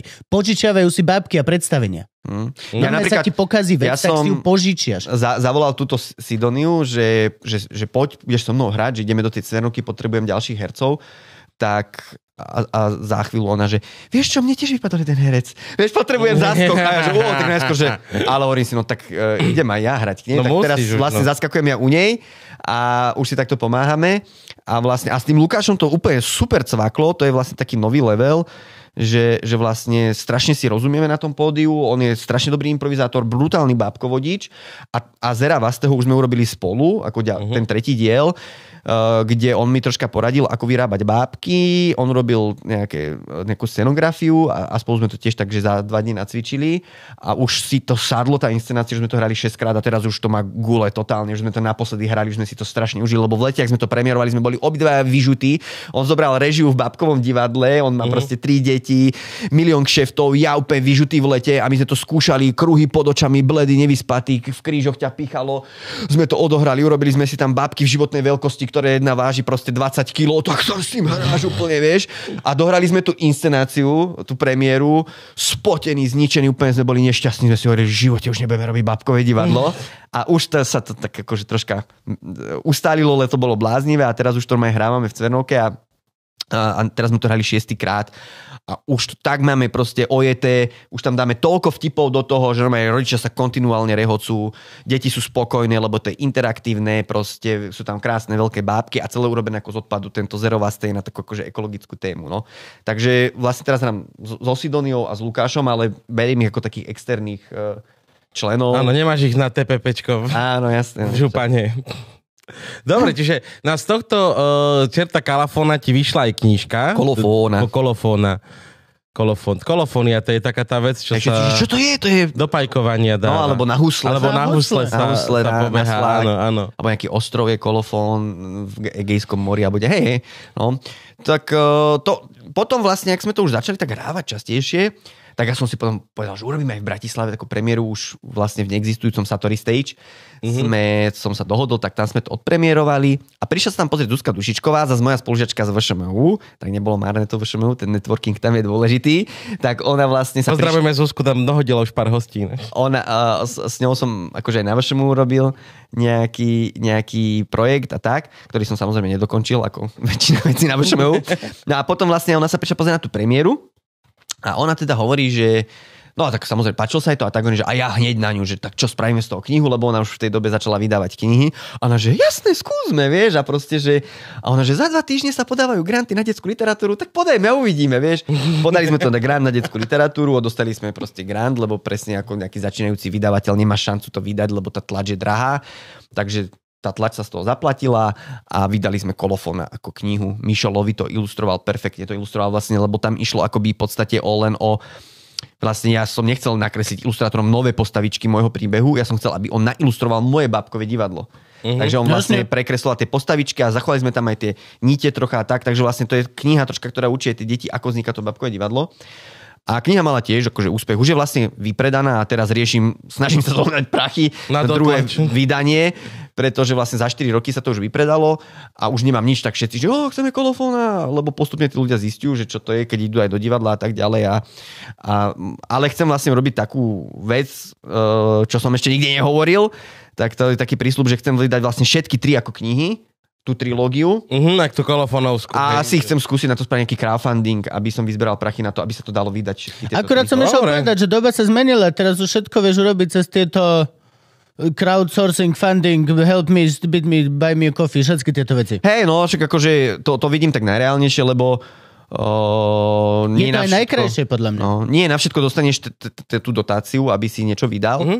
Uh, ale FPU je vlastne super uh, inštitúcia, ktorá presne podporuje, akože odkedy vzniklo FPU, tak fakt sú milióny divadiel, vydavateľov, festivalov a tak ďalej, že to je fakt inštitúcia, ktorá tu brutálne chýbala. Aj v... Fakt? No jasne. Naozaj máme inštitúciu, ktorú môžeme pochváliť? No jasné, FPU jednoznačne. Proste to je... aj v pandémii suplovala proste všetci umelci a aj takí, čo neboli umelci, ale zrazu boli umelci si tam požiadali a prežili pandémiu kvôli proste FPU, ktorý suploval Ministerstvo kultúry, financií a všetky iné schémy a No. proste ľudia si tam požiadali štípka a prežili vďaka tomu FPU, a ale aj bez odliadu na toto, proste my sme v Bitči začali robiť festival 2015 a keby nebolo FPU a postupne nezačal náš festival podporovať, tak nie je. A teraz je tam úžasný festival, ktorý ja už momentálne nerobím, ale ten festival sa naštartoval, funguje, žije, je to perfektný festival, chodia tam ľudia Slovenska, domáci a páči sa im aj vďaka FPU a FPU je presne, že inštitúcia, ktorá nedáva veľa peňazí, ale dáva mnohým. A vďaka nej vyrašilo strašne veľa kultúrnych centier.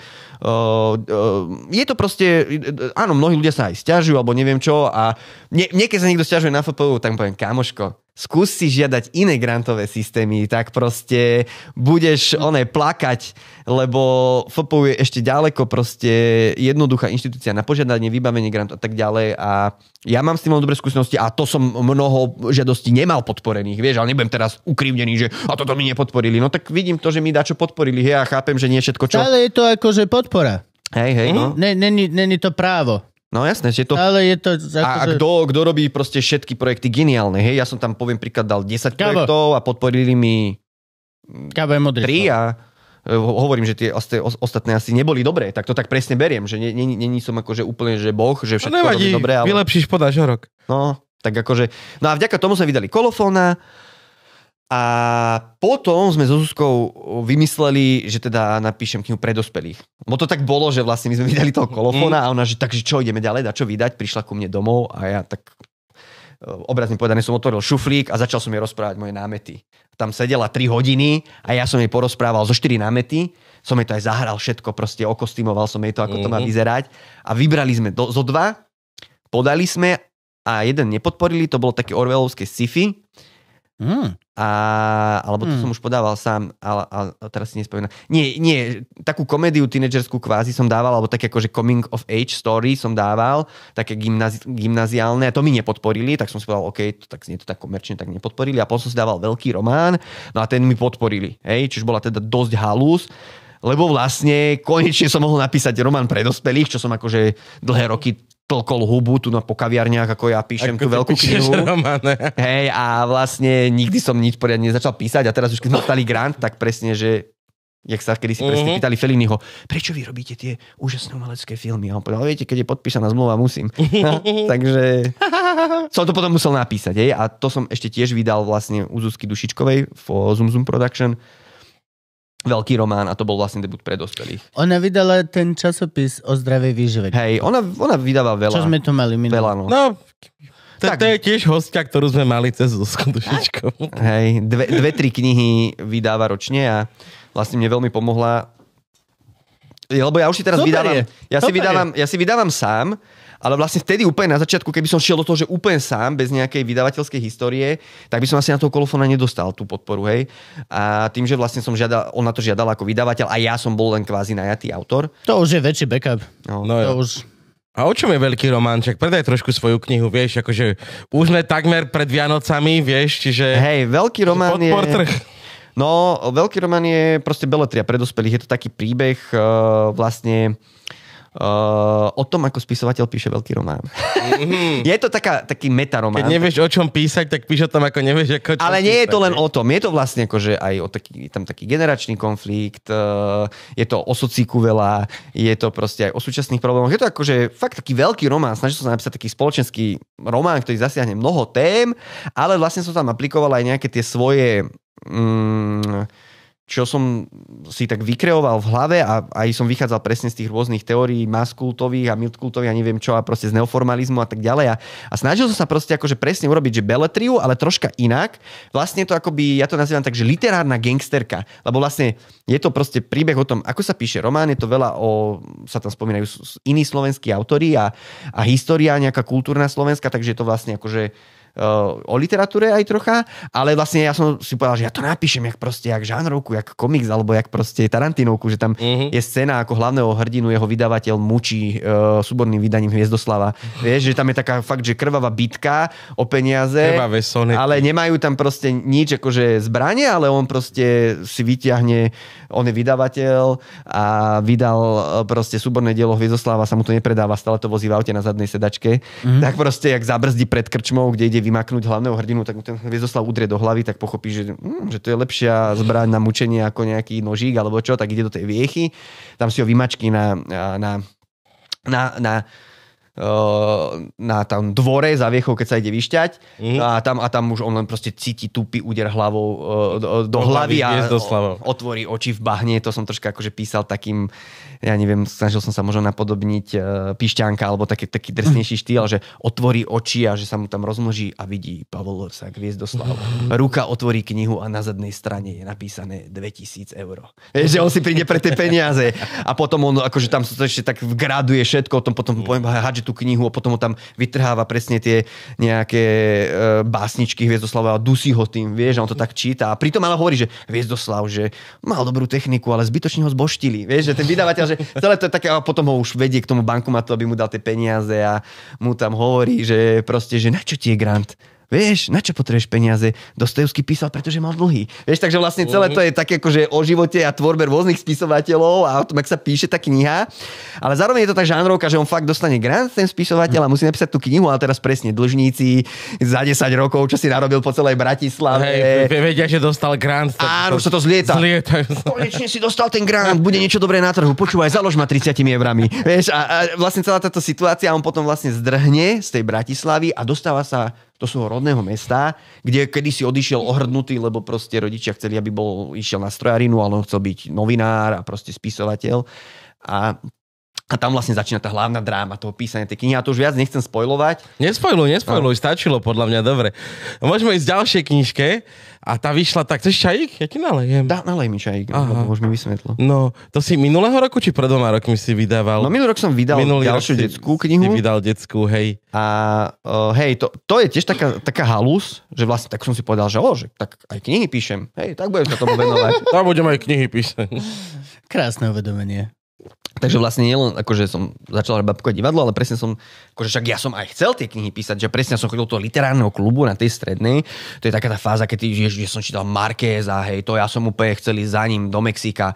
Ja som úplne bol presne takýto taký proste inťoš, čo akože strašne, strašne chcem písať knihy a neviem čo, a som o tom rozprával, všade neviem čo na tej scenaristike, to, to, to, ale presne tak ako život ťa zomelie, mm-hmm. potom to sebavedomie ti svrkne, neviem čo, fakt napíšeš knihu, vieš, že to nie je sranda. Aj, no nie je len tak napísať No, knihu. takže ja som proste akože sa tomu cieľu dosť vzdialil a vďaka Zuzke Dušičkovej a tomu, že sme potom ten grant dostali a že, že nejak akože som pochopil, že takýmto spôsobom tak som musel tú knihu napísať, takže ja som aj vždycky chcel a, a, a, a, mňa to aj baví, to rozprávanie príbehov, preto to mám aj také, že storyteller Peter Gertner, že vlastne v divadle, keď bude chcieť niekto niekedy aj vo filme kľudne, momentálne komik som napísal, uh, aj, aj proste do krčmy zavolajte ma, hoci kto, pozvite ma na kávu, ja vám 3 hodiny budem rozprávať, nie je problém. A, takže mňa strašne baví to rozprávanie príbehov, takže ja som proste pochopil, že budem to dávať akože do tých kníh a tie knihy sú super, pretože presne máš nápad, a chceš urobiť film, no potrebuješ 2 milióny, vieš, mm-hmm. nemožné, alebo presne, že budeš to robiť 8 rokov, jak socialistický zombie morda. Uh, to, je to veľmi náročná vec. Je tiež drahá, aby si to vydal, ale buď proste investuješ nejaké úspory, alebo proste dostaneš grant a knihu vydáš relatívne pohode a dáš tam ten nápad, vieš? A mne je jedno, či veľký román proste ľudia uvidia na platne, alebo si to prečítajú, alebo proste moje detské knihy, vieš? Akože áno, mal by som väčší ríč, keby som natočil film, ale aj by to viacej stalo. Proste pre mňa je primárne sa nejako akoby realizovať a už som sa na to dal, hej, je to moje živobyťasne, kedy hovorím, že ja som taký debil, že mohol som presne, mňa prijali na architektúru kedysi, vieš, ja som mohol byť architekt, Ja som mal byť geodet. No presne, že, že, že ty tak akože trepeš tú hlavu o stôl a hovoríš si, mohol, ako mohol som mať už pekne splatenú hypotéku. Vieš, si to tak hovoríš a potom si hovoríš, ty vole, ale však už tuto sa mordujem s, to, s tým storytellingom roky, čo teraz to kvitnem a pôjdem robiť niečo iné. Nie, no musíš robiť toto, hej, že, Hej, že si to mohol by si začať niekde inde a, a ja neviem čo proste s niečím iným podnikať, ale zase začínaš na nule, hej. Že, že, a možno sa to stane, možno ma to prestane baviť a začnem robiť akože niečo iné. Práve, že začínať na nule má celkom appeal. Čo? Začínať na nule má celkom veľký No, epil. áno, keď vyhoríš a to, tak Aj celkovo, proste akože niekde začať úplne z nuly, že nič vôbec neviem a všetko je pre mňa nové. Ja napríklad ten pocit máš rád. Mňa to strašne baví. Je to super, áno, lebo taký refresh, proste začneš, ako no presne úplne, že, že na niečo úplne že zabudneš a začneš robiť úplne že iné veci. Pre mňa napríklad presne, keď som bol v tom Švédsku, Aj nové veci sú fascinujúce proste. To je... tak eh, pre mňa to tam bolo také, že wow, že iný svet a som sa naučil ten jazyk a čo a proste spoznal som niečo. Vieš, že začneš takú novú etapu, zlečíš tú starú kožu a je to super, ale teraz hovorím presne o tom, že že, že niekedy si hovorím, že fakt si nájdem nejakú TPPčko, že proste vykašľam sa na tieto umelecké neisté joby a čo. A Aj tak ti ostanú. Aj tak budeš v TPPčku, čo budeš robiť, aj tak si budeš za do hlavy písať veci. Hej, hej, budeš, ale že, že teraz sa čisto zam- zamýšľam nad tým, akoby, že, že, že vlastne toto ťa už nejakým spôsobom živí, roky do toho investuješ, aby to fungovalo a teraz zase začínať odznova s niečím iným, alebo presne, že tá architektúra už je pre mňa stratená, hej, kedy si som aj sa pripravoval na architektúru mm. na strednej a som sa aj dostal a doteraz to mám také, že mohol som byť architekt a potom si poviem, že čo, však aj tí to majú ťažké, vieš, od rána No hej, no. rysujú, E, nebudeš hneď najlepší architekt, čo- čo vyhrá Cezara, akože každá tá cesta je náročná. Hej. Poznám zo pár, čo nedoštudovalo. No a teda napísal si detskú knižočku Č- Čakanie na sneh. Hej, a to je halus, že ako vznikla. A to je kniha vlastne akože Čert Kolofón a Veľký román sú také dramatické príbehy, to je taká tá epika, že page turner, že proste si zvedavý, ako to bude pokračovať. Ale Čakanie na sneh je vlastne kniha, ktorú som napísal takým štýlom, ktorý nemám rád až tak veľmi. Mhm. Uh, je napísaná takým lirickým slovenským štýlom, že moc sa tam toho nedieje, celé to je také opisovanie pocitov hlavného hrdinu. A vlastne fakt nemá to žiadnu zápletku, len je to o tom, že proste deti na sídlisku uh, 90-kovom proste čakajú ako nasneží a už chodia obzerať sánky do pivnice.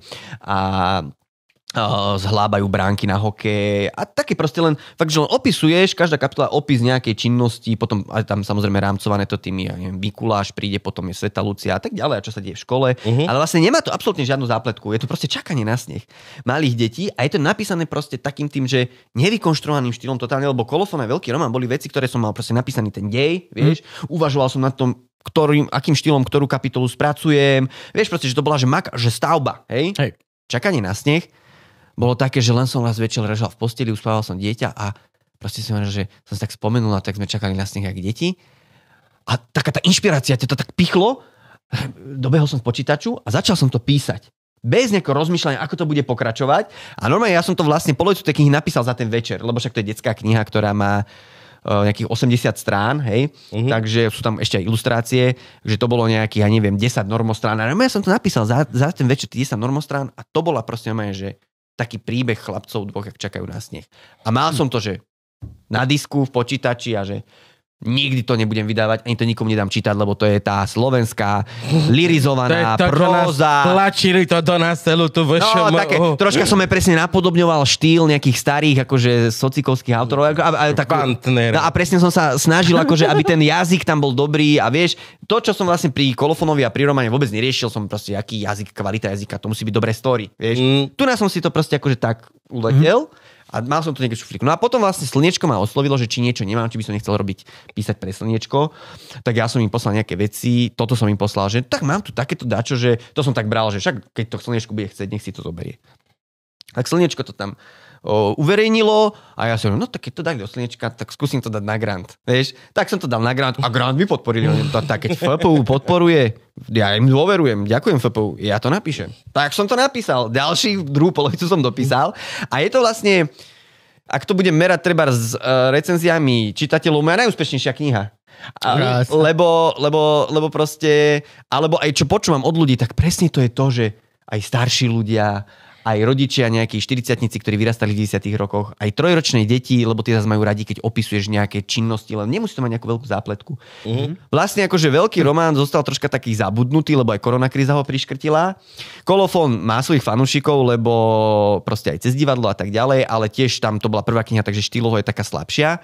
A čakanie na sneh je úplne, že ešte som nemal jednu, že nie že negatívnu, ale ani že štvorhviezdičkovú recenziu. Všetci, že "Jo, to je úžasné, z knižnici v Ružomberku vypisujú, že tak sa mi to páčilo. Vieš, že proste, že, že, že, že to je presne taký ten crowd pleasure, Mhm. Urobili sme tam veľmi pekné ilustrácie s Martou Matus, také úplne jemnučké, artové, proste, ktoré sa hodia tomu štýlu, také, jak, jak taký uh, prašan snehový, vieš, tak úplne celé sme to Peťo Gala, špičkový proste dizajner knižný, e, mi s tým pomohol, aby to malo krásnu obálku, všetko a tá kniha proste, že presne, že keď má brutálnu obálku, keď je presne nailustrovaná pekne, tak mm. akože zatiaľ hovorím, že všetci sú presne na mekučko z tej knihy, hej, že, a hovorím, že pre, je to kniha, ktorú vlastne som nechcel vydať, hej, že to bolo niečo, že takto ja nechcem písať, to je môj štýl. Mm. A potom si povedal, nebuď tvrdohlavý, urobaj toto, hej. Keď FPU podporí, Hej. uhrabaj toto. A poďme teda k poslednej, lebo však už sme ju mali v rukách asi 4 krát. Kubo, podaj. Hej. Takže toto je, áno, toto je moja kniha, lebo ja tu zbieram komiksy v tejto partii. Takže Lasica a Satinský radostná správa. A je to komiks. To sa nedieje na Slovensku často, že by niekto vydával komiksy. No, nie, nie. No, tak to je, Oh, je, mám rád. je to čerstvúčke, vlastne včera sme preto boli v Včera, áno, včera, videl som one, uh, fotku Hej. uh, na, na Facebooku, ako máte plné auto naložené tejto knihy. Áno, boli sme s vydavateľom. Vydal to teda Peťo Michalík, eh, respektíve jeho vydavateľstvo Monokel.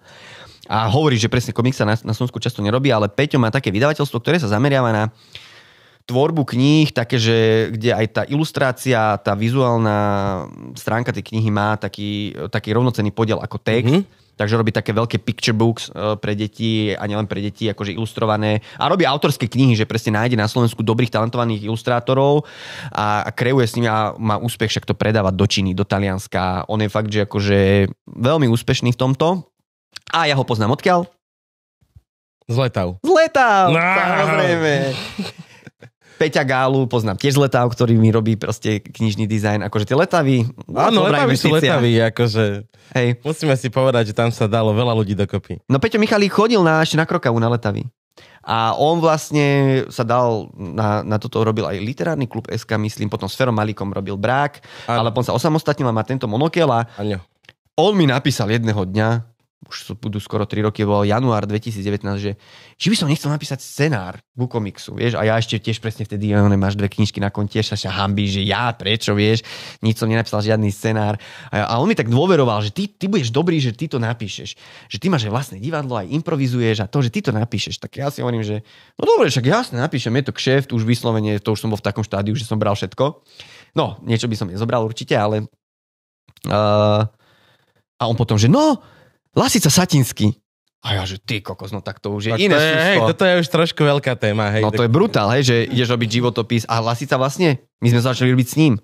To bolo, Mhm. mm-hmm. že my sme sa s ním najskôr stretli, my sme mu aj ukázali tie vizuály, Ďuro Balok to ilustroval, on proste to na, najskôr nailustroval, ako majú vyzerať a, a prvé Peťo proste sa, on chcel mať to posvetenie od Lasicu, tak sme išli za tým Lasicom prvýkrát si pamätám, to bolo roku 2019, ešte tak pred letom, do Sheratonu v Evroveji, on tam kúsok býval, tak tam sme sa stretli a bol ešte taký, vieš, že prídu za ním nejakí dvaja mladí, on je Mhm. mladoší a dačo mu tam dačo rozprávať, že idú komiksy, tak Peťo to s ním komunikoval. o, tak, o ňom robiť komiks. Takže akože však bol akože slušný všetko, normálne sa s nami porozprával. Tak ale bolo, mal som taký pocit, že jedným uchom dnu, druhým von, alebo že, že vlastne, že ja ešte Mhm. som čítal noviny a ja ešte tým, že som to nemal naštudované ten ich život, tak som sa aj pýtal také sprostosti, čo asi on očakával, že budem o ňom vedieť. Hej? Takže, ale bol v pohode, normálne nám 3 hodiny nám dačo porozprával, sedeli sme tam pri čaji, pri káve, ja som si robil poznámky, zapisoval som si.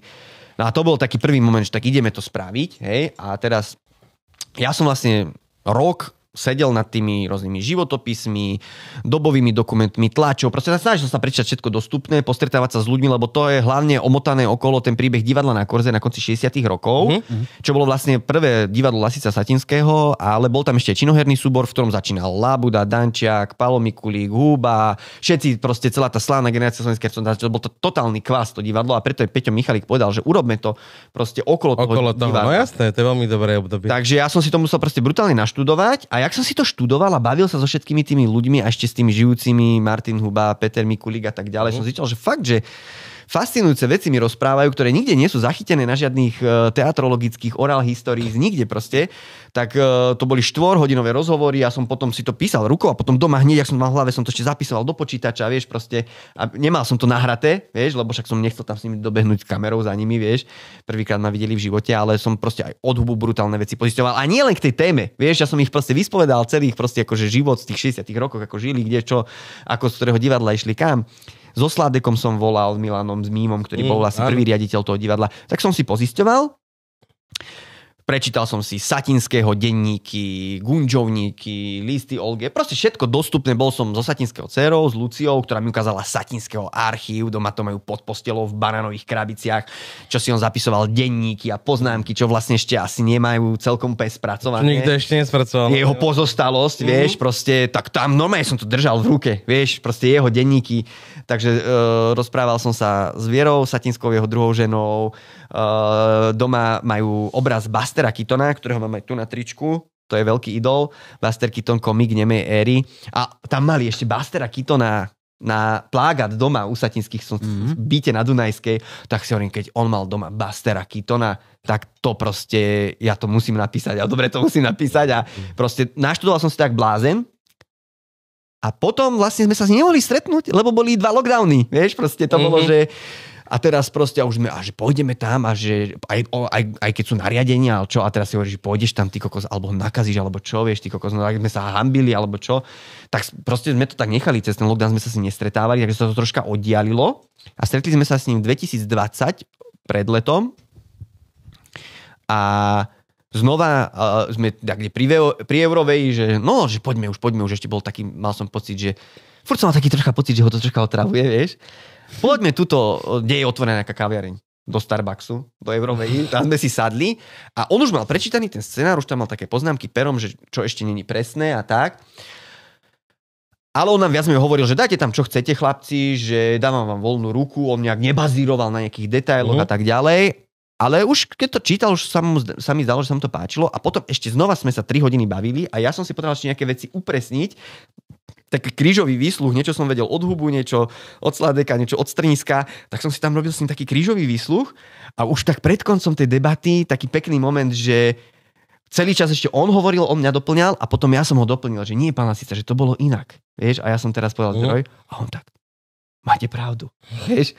A vtedy aj Peťo tak ticho zostalo, vieš, a to bol úplne taký ten zlomový moment, keď som mal pocit, a po tej, po tej, po tej druhom stretnutí už bol taký bodrý a tak už sa aj, aj selfie si spravím, usmieval sa a už nech to vznikne. Vieš, už bol taký, Mhm. že a nám úplne odláhlo, vieš. Uh, dávali sme to Lucii Satinskej čítať, aj Viere Satinskej, aj tie proste si to pochvalovali. Ja som tam ešte pretlačil, aby tam bol tretia hlavná postava, Cornel Feldvári, ktorý Mhm, vlastne bol riaditeľom potom divadla na Korze a bol veľ, veľký fanúšik a ja som pretlačil, že dajme tam Cornela, on bol brutálny rozprávač, vtipný človek a, a že to tam musíme dať, takže vlastne oni tam pričarujú na začiatku aj, aj Cornela Feldváriho. Mhm. No a ja som potom aj Peťovi proste navrhol, že to divadlo na Korze super éra, ale viac menej je to o tom, že oni hrali divadlo. Čo my budeme prekreslovať do komiksu, ak hrajú divadlo? To až Mhm. také zaujímavé není. Sú tam tie kultové scénky, ktoré sme tam dostali, ale hovorím, my tam musíme dostať troška tú drámu a oni, že brutálne zaujímavé, že ako sa Lasica Satinsky stretli a ako to, tá kariéra sa vyvíjala. Takže nakoniec je to vlastne životopis od detí, ako sa prvýkrát stretli na uh, Vianočnej besiedke v Pionierskom paláci, kde hrali mesiačikov a tam sa prvýkrát vlastne videli a to ešte neboli kamoši, potom na Vysokom Kubine spolu súťažili. Takže vlastne ja som urobil taký životopis, jak sa ako proste oni stretávali, jak potom v 59. prvýkrát vystúpili v uh, Tatra Reví na mládežnických predpoludniach, čo bola vlastne ako stranická akcia pre mládež, aby nechodila do kostola. Vieš? Áno. Takže vlastne sme celý vystavali ten príbeh, potom išli spolu do vojenského súboru a vieš, že, že, že vlastne až... A, uh, dal som tam taký ten, že uh, taký ten storyline, že oni chcú to svoje divadlo, v 68. to začína, ten príbeh, uh, že, vlastne Dubček a budú živnosti povolené malé, Mhm. že tá reforma ekonomická, oni tak verili, že budú mať to divadlo a potom vlastne skočíme späť, na začiatok, keď boli deti a sleduješ ten ich príbeh až do toho divadla a potom samozrejme sú tam Rusi, ak prišli tanky, všetko proste akože celá tá situácia okolo toho divadla, ale vlastne je to ich život 50 60 a začiatkom 70 rokov, keď už ich vlastne mm, priškripli úplne, zakázali im robiť divadlo a a ich knihy povyťahovali z knižníc a proste, takže je to taká, tá- taká, taká prvá polovica toho ich života. Pekný. A som za to proste, Krásne. Čo, tak, tak, tak, vieme to Frank, kúpiť teraz? potlesk. Ak, Potlesk. No akože, ja neviem, že ako dlho vám bude, Kde je tvoj timing? Neviem, ako dlho bude vám trvať postprodukcia tohto celého, pretože 20 sekúnd. 20 Koľko sekúnd. však teraz, počkaj, čo, no, Lebo o, dva, je- je- o dva týždne ideš. je možné, no. že v momente, keď už to budeme vysielať, tohto Luživčaka, že tá kniha už bude vypredaná. Aha, No to akože keď je nejaký hit na slovenskom trhu a ty nevieš, nejdeš vydať hneď 20 tisíc kusov, ale vydáš nejaké menšie Mhm. množstvo, lebo dúfaš, že aspoň to predáš. koľko ste toho vydali? 7. To nechcem hovoriť, lebo však to sú také Viac interné veci vydavateľské.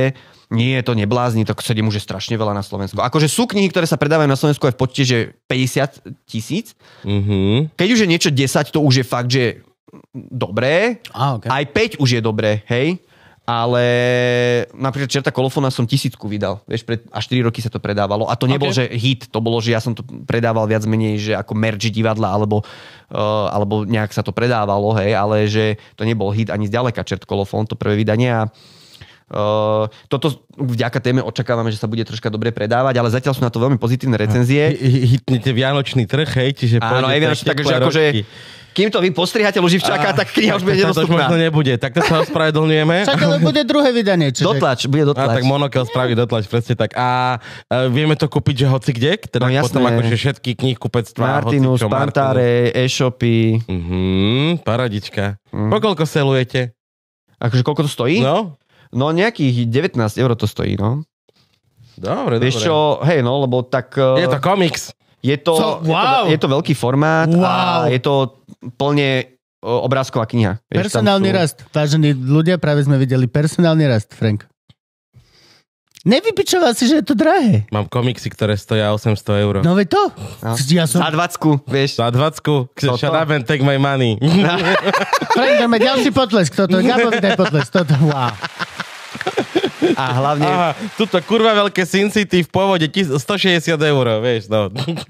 no, No, ja som len... Momentálne má hodnotu tak 500. ono, keď vydávaš iba text, hej, tak vlastne máš výrazne nižšie náklady aj na tú tlač. No jasné. aj na hlavne nemusíš platiť ilustrátora. Vieš, ty si len niečo napíšeš, No a môžeš robiť je, hej, paperback toto a je vytlačíš to raz dva. nakreslené. Ale toto vlastne je práca proste uh, v tomto prípade v jednej osobe aj grafik, uh, aj ilustrátor, lebo Duro si to vlastne celé aj nadizajnoval, aj to Mhm. nakreslil. Ale väčšinou sú to dvaja ľudia. Hej, že ty ako vydavateľ platíš knižného dizajnera, ktorý proste všetko vymyslí, zalomí, sádzbu, proste samostatná profesia, hej, čo niekto ne, netuší, že čo za tou knihou stojí.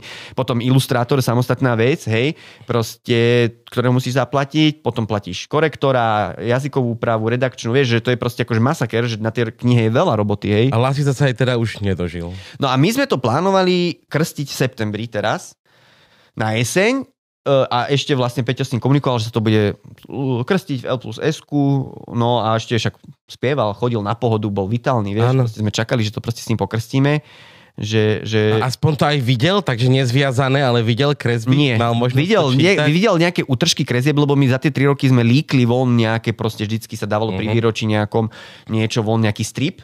Takže Mhm. on videl, ako to vyzerá, ako sa to vyvíja, aj čítal celý ten scenár, hej? Mhm. ktorý sa ešte jemne potom upravoval už do tej kreslenej podoby. Takže on vedel približne, ale nevidel to takto celé, akože samozrejme, no. Mhm. A aj, vieš, no sme sa tešili, že, že vlastne e, to spolu s ním pokrstíme a vlastne to nebolo, že my by sme si písali životopis o nejakom slávnom človeku, lebo chceme na tom zarobiť. My sme ten projekt robili s ním. Mhm. Hej? Že to bolo, a, a presne to nebol, že klasický životopis. To je vlastne o tom divadle na Korze a No, ale tak už e, to musí kontrolovať no, z vtáčej perspektívy a vyjadriť sa, dá nám nejaké znamenie. Dobre bude. Radostná správa. Radostná správa, áno. Takže uh, vlastne odporúčame uh, tvoje knihy. Kupujte hlavne veľký román, lebo ten zastavila korona a Peťo ho má najviacej. Plus, ak chcete robiť svojim deťom na Vianoce radosť, tak čakanie na sneh a možno... A teraz bude vlastne mať pred Vianocami. Rýchlo klikajte. Čakanie na sneh bude mať dvojku. Už 4 raz na Vianoce. Teraz už? Hej, Ty hej, si hej. aký plodný. No tak Nečakanie musíš ročne aspoň jednu knihu, no, keď už sa tým chceš živiť. A, jak sa volá čakanie na sneh 2? Uh, volá sa to Krpci z tretieho vchodu a je to vlastne parafra, akože taký podnázov je, že čakanie na leto. To je vlastne, ak bolo čakanie na sneh, bolo zimné a teraz som robil takú letnú verziu, tí istí hrdinovia, ich tam troška viacej, troška sa to štýlovo zmenilo, ale sú to také deti z Bullerbinu, ale odohrávajú sa na Socikovskom 90 sídlisku a tiež to ilustrovala Marta Matus a bude to taká dvojička k snehu a Je teraz veľká kríza aj na knižnom trhu, je nedostatok papiera, takže dúfam, že sa to stihne do Vianoc vydať. To by mohla byť Je kniha. nedostatok papiera? Hej, to je taká halus, že Je normálne akože papierová kríza, jak máme No, jasné. kremikovú krízu, Áno. plynovú krízu. je brutálna eh, kríza. čipy do oktáviek chýbajú, chýba papier. To je akože tá kríza ekonomická je globálna a vidíš to presne na tom, že není papier. Fakt? No není papier. Všetci, lebo všetci to tak riešia, že píšeš tú knihu, aby to bolo na ten vianočný A trh. Franky to furt na mňa háže, že veľa seriem, keď není papier. Až mi to dvakrát povedal. A kúpil si tlačiareň teraz. Asi najhoršia investícia, že, pán investor? Teraz kúpiš tlačiareň? Čo minia najdrahší papier, aký kedy bol? No, ale však to je vlastne ten problém, že sa ten papier nespotreboval a preto je tá kríza. Lebo jak bola korona a nikto nechodil do školy ani do kanclov, tak nebol ten Sa proste papier. papier. Nie, vlastne nebol ten recyklovaný papier, z ktorého sa vyrábajú často tie kvalitné Aha. papiere do kníh. No, ako ja tiež až tak podrobne tomu nerozumiem, ale takto nejak som si to z rozhovorov s rôznymi vydavateľmi vydedukoval. A to je jedna vec, že není, že napríklad minulý rok som vydával knihu, že som ju poslal do tlačiarne a za mesiac bola hotová. Uh-huh. Teraz som ju poslal do tlačiarne a mesiac sa čaká len, kým príde ten papier, že oni to objednajú a je taký veľký dopyt po tom papieri, že mesiac sa čaká na ten papier a až potom sa mesiac tlačí, vyrába, viaže tá kniha. Hej? A, uh, takže to je jedna vec, že čakáš na ten papier, že všetci teraz, to nie ja som není jediný, všetci títo moji kamoši nezávislí vydavateľi, že není papier, nesmieme vydať knihu, Vianoc skrachujeme, vieš. To všetci teraz je panika totálna. A druhý efekt je to, že to brutálne zdražilo. Vieš, že to vlastne zdražilo o, o 40% medziročne. Vieš? Ja, čiže normálne, že e, toto by možno stalo 16 eur, ale stojí to 19, lebo není papier. Presne tak, že, že aj tie ceny kníh pôjdu hore tento rok, lebo presne tí vydavatelia museli investovať. Toto môžem akože otvorene povedať, že, že, že proste pri tej novej knihe, že že minulý rok vlastne, ja neviem, uh, som to o 500 eur lacnejšie vytlačil. Čo len akože medzi rok sa posunieš, L- robíš to isté. náklad. Len na, a, to vlastne zdvihol hlavne ten náklad na ten papier. Hej? piči. No 500 eur za, za rok. Hej, toto spôsobila korona kríza a preto vlastne aj všetci, že a knihy sú dosť drahé teraz, hej, ale si povieš, no dobre, a koľko stojí obed, koľko stojí káva, vieš, Mm. proste keď káva stojí ty vole 2,50 a obed 9 eur lepší, alebo čo, a proste ty nemôžeš predávať knihu za 10 eur. Čokoľvek si objednám cez bistro, tak pod 7 eur nejdem. No. A to si objednávam denné menu, hej? Akože. to. Takže ono vlastne, tak jak draží elektrika, tak proste zdražil papier a teraz tí vydavatelia si to musia vykompenzovať a budú troška drahšie tie knihy, vieš. To je... Tak hlavne sa neočkujme, nech nám to čo najdlhšie vydrží. Ó, týmto by sme vlastne mohli uzavrieť takto lužičak. Ty si, čo ti dám? Uh, Elko? Tričko? No? Ja neviem, ja to tieto veľkosti, očkaj. Esko je naj... Gabo, Gabo, on je veľmi zafixovaný v týchto. Large? On, on, strašne, on strašne škatulkuje ľudí. A tak Mko? Konečne bude mať nové tričko. Keď ponúkaš. Kokotiny, pičoviny. Á, mám Mko, aha. Ty ma strašne tu máš bavíš v M-ko. poslednej dobe, Gabo. OK, díky. Super. Jo, ja nenávidím nakupovanie, nič. No, vidíš, tu máš Mko, Luživčak, podcast, tričko, Aha. morské šteniatka. Tak ďakujem veľmi pekne, ďakujem za Ďakujeme aj my. pozvanie. My ďakujeme, že si prišiel. Bolo- Hej. Ďakujeme, Dobre, pani. Díky moc. Čaute.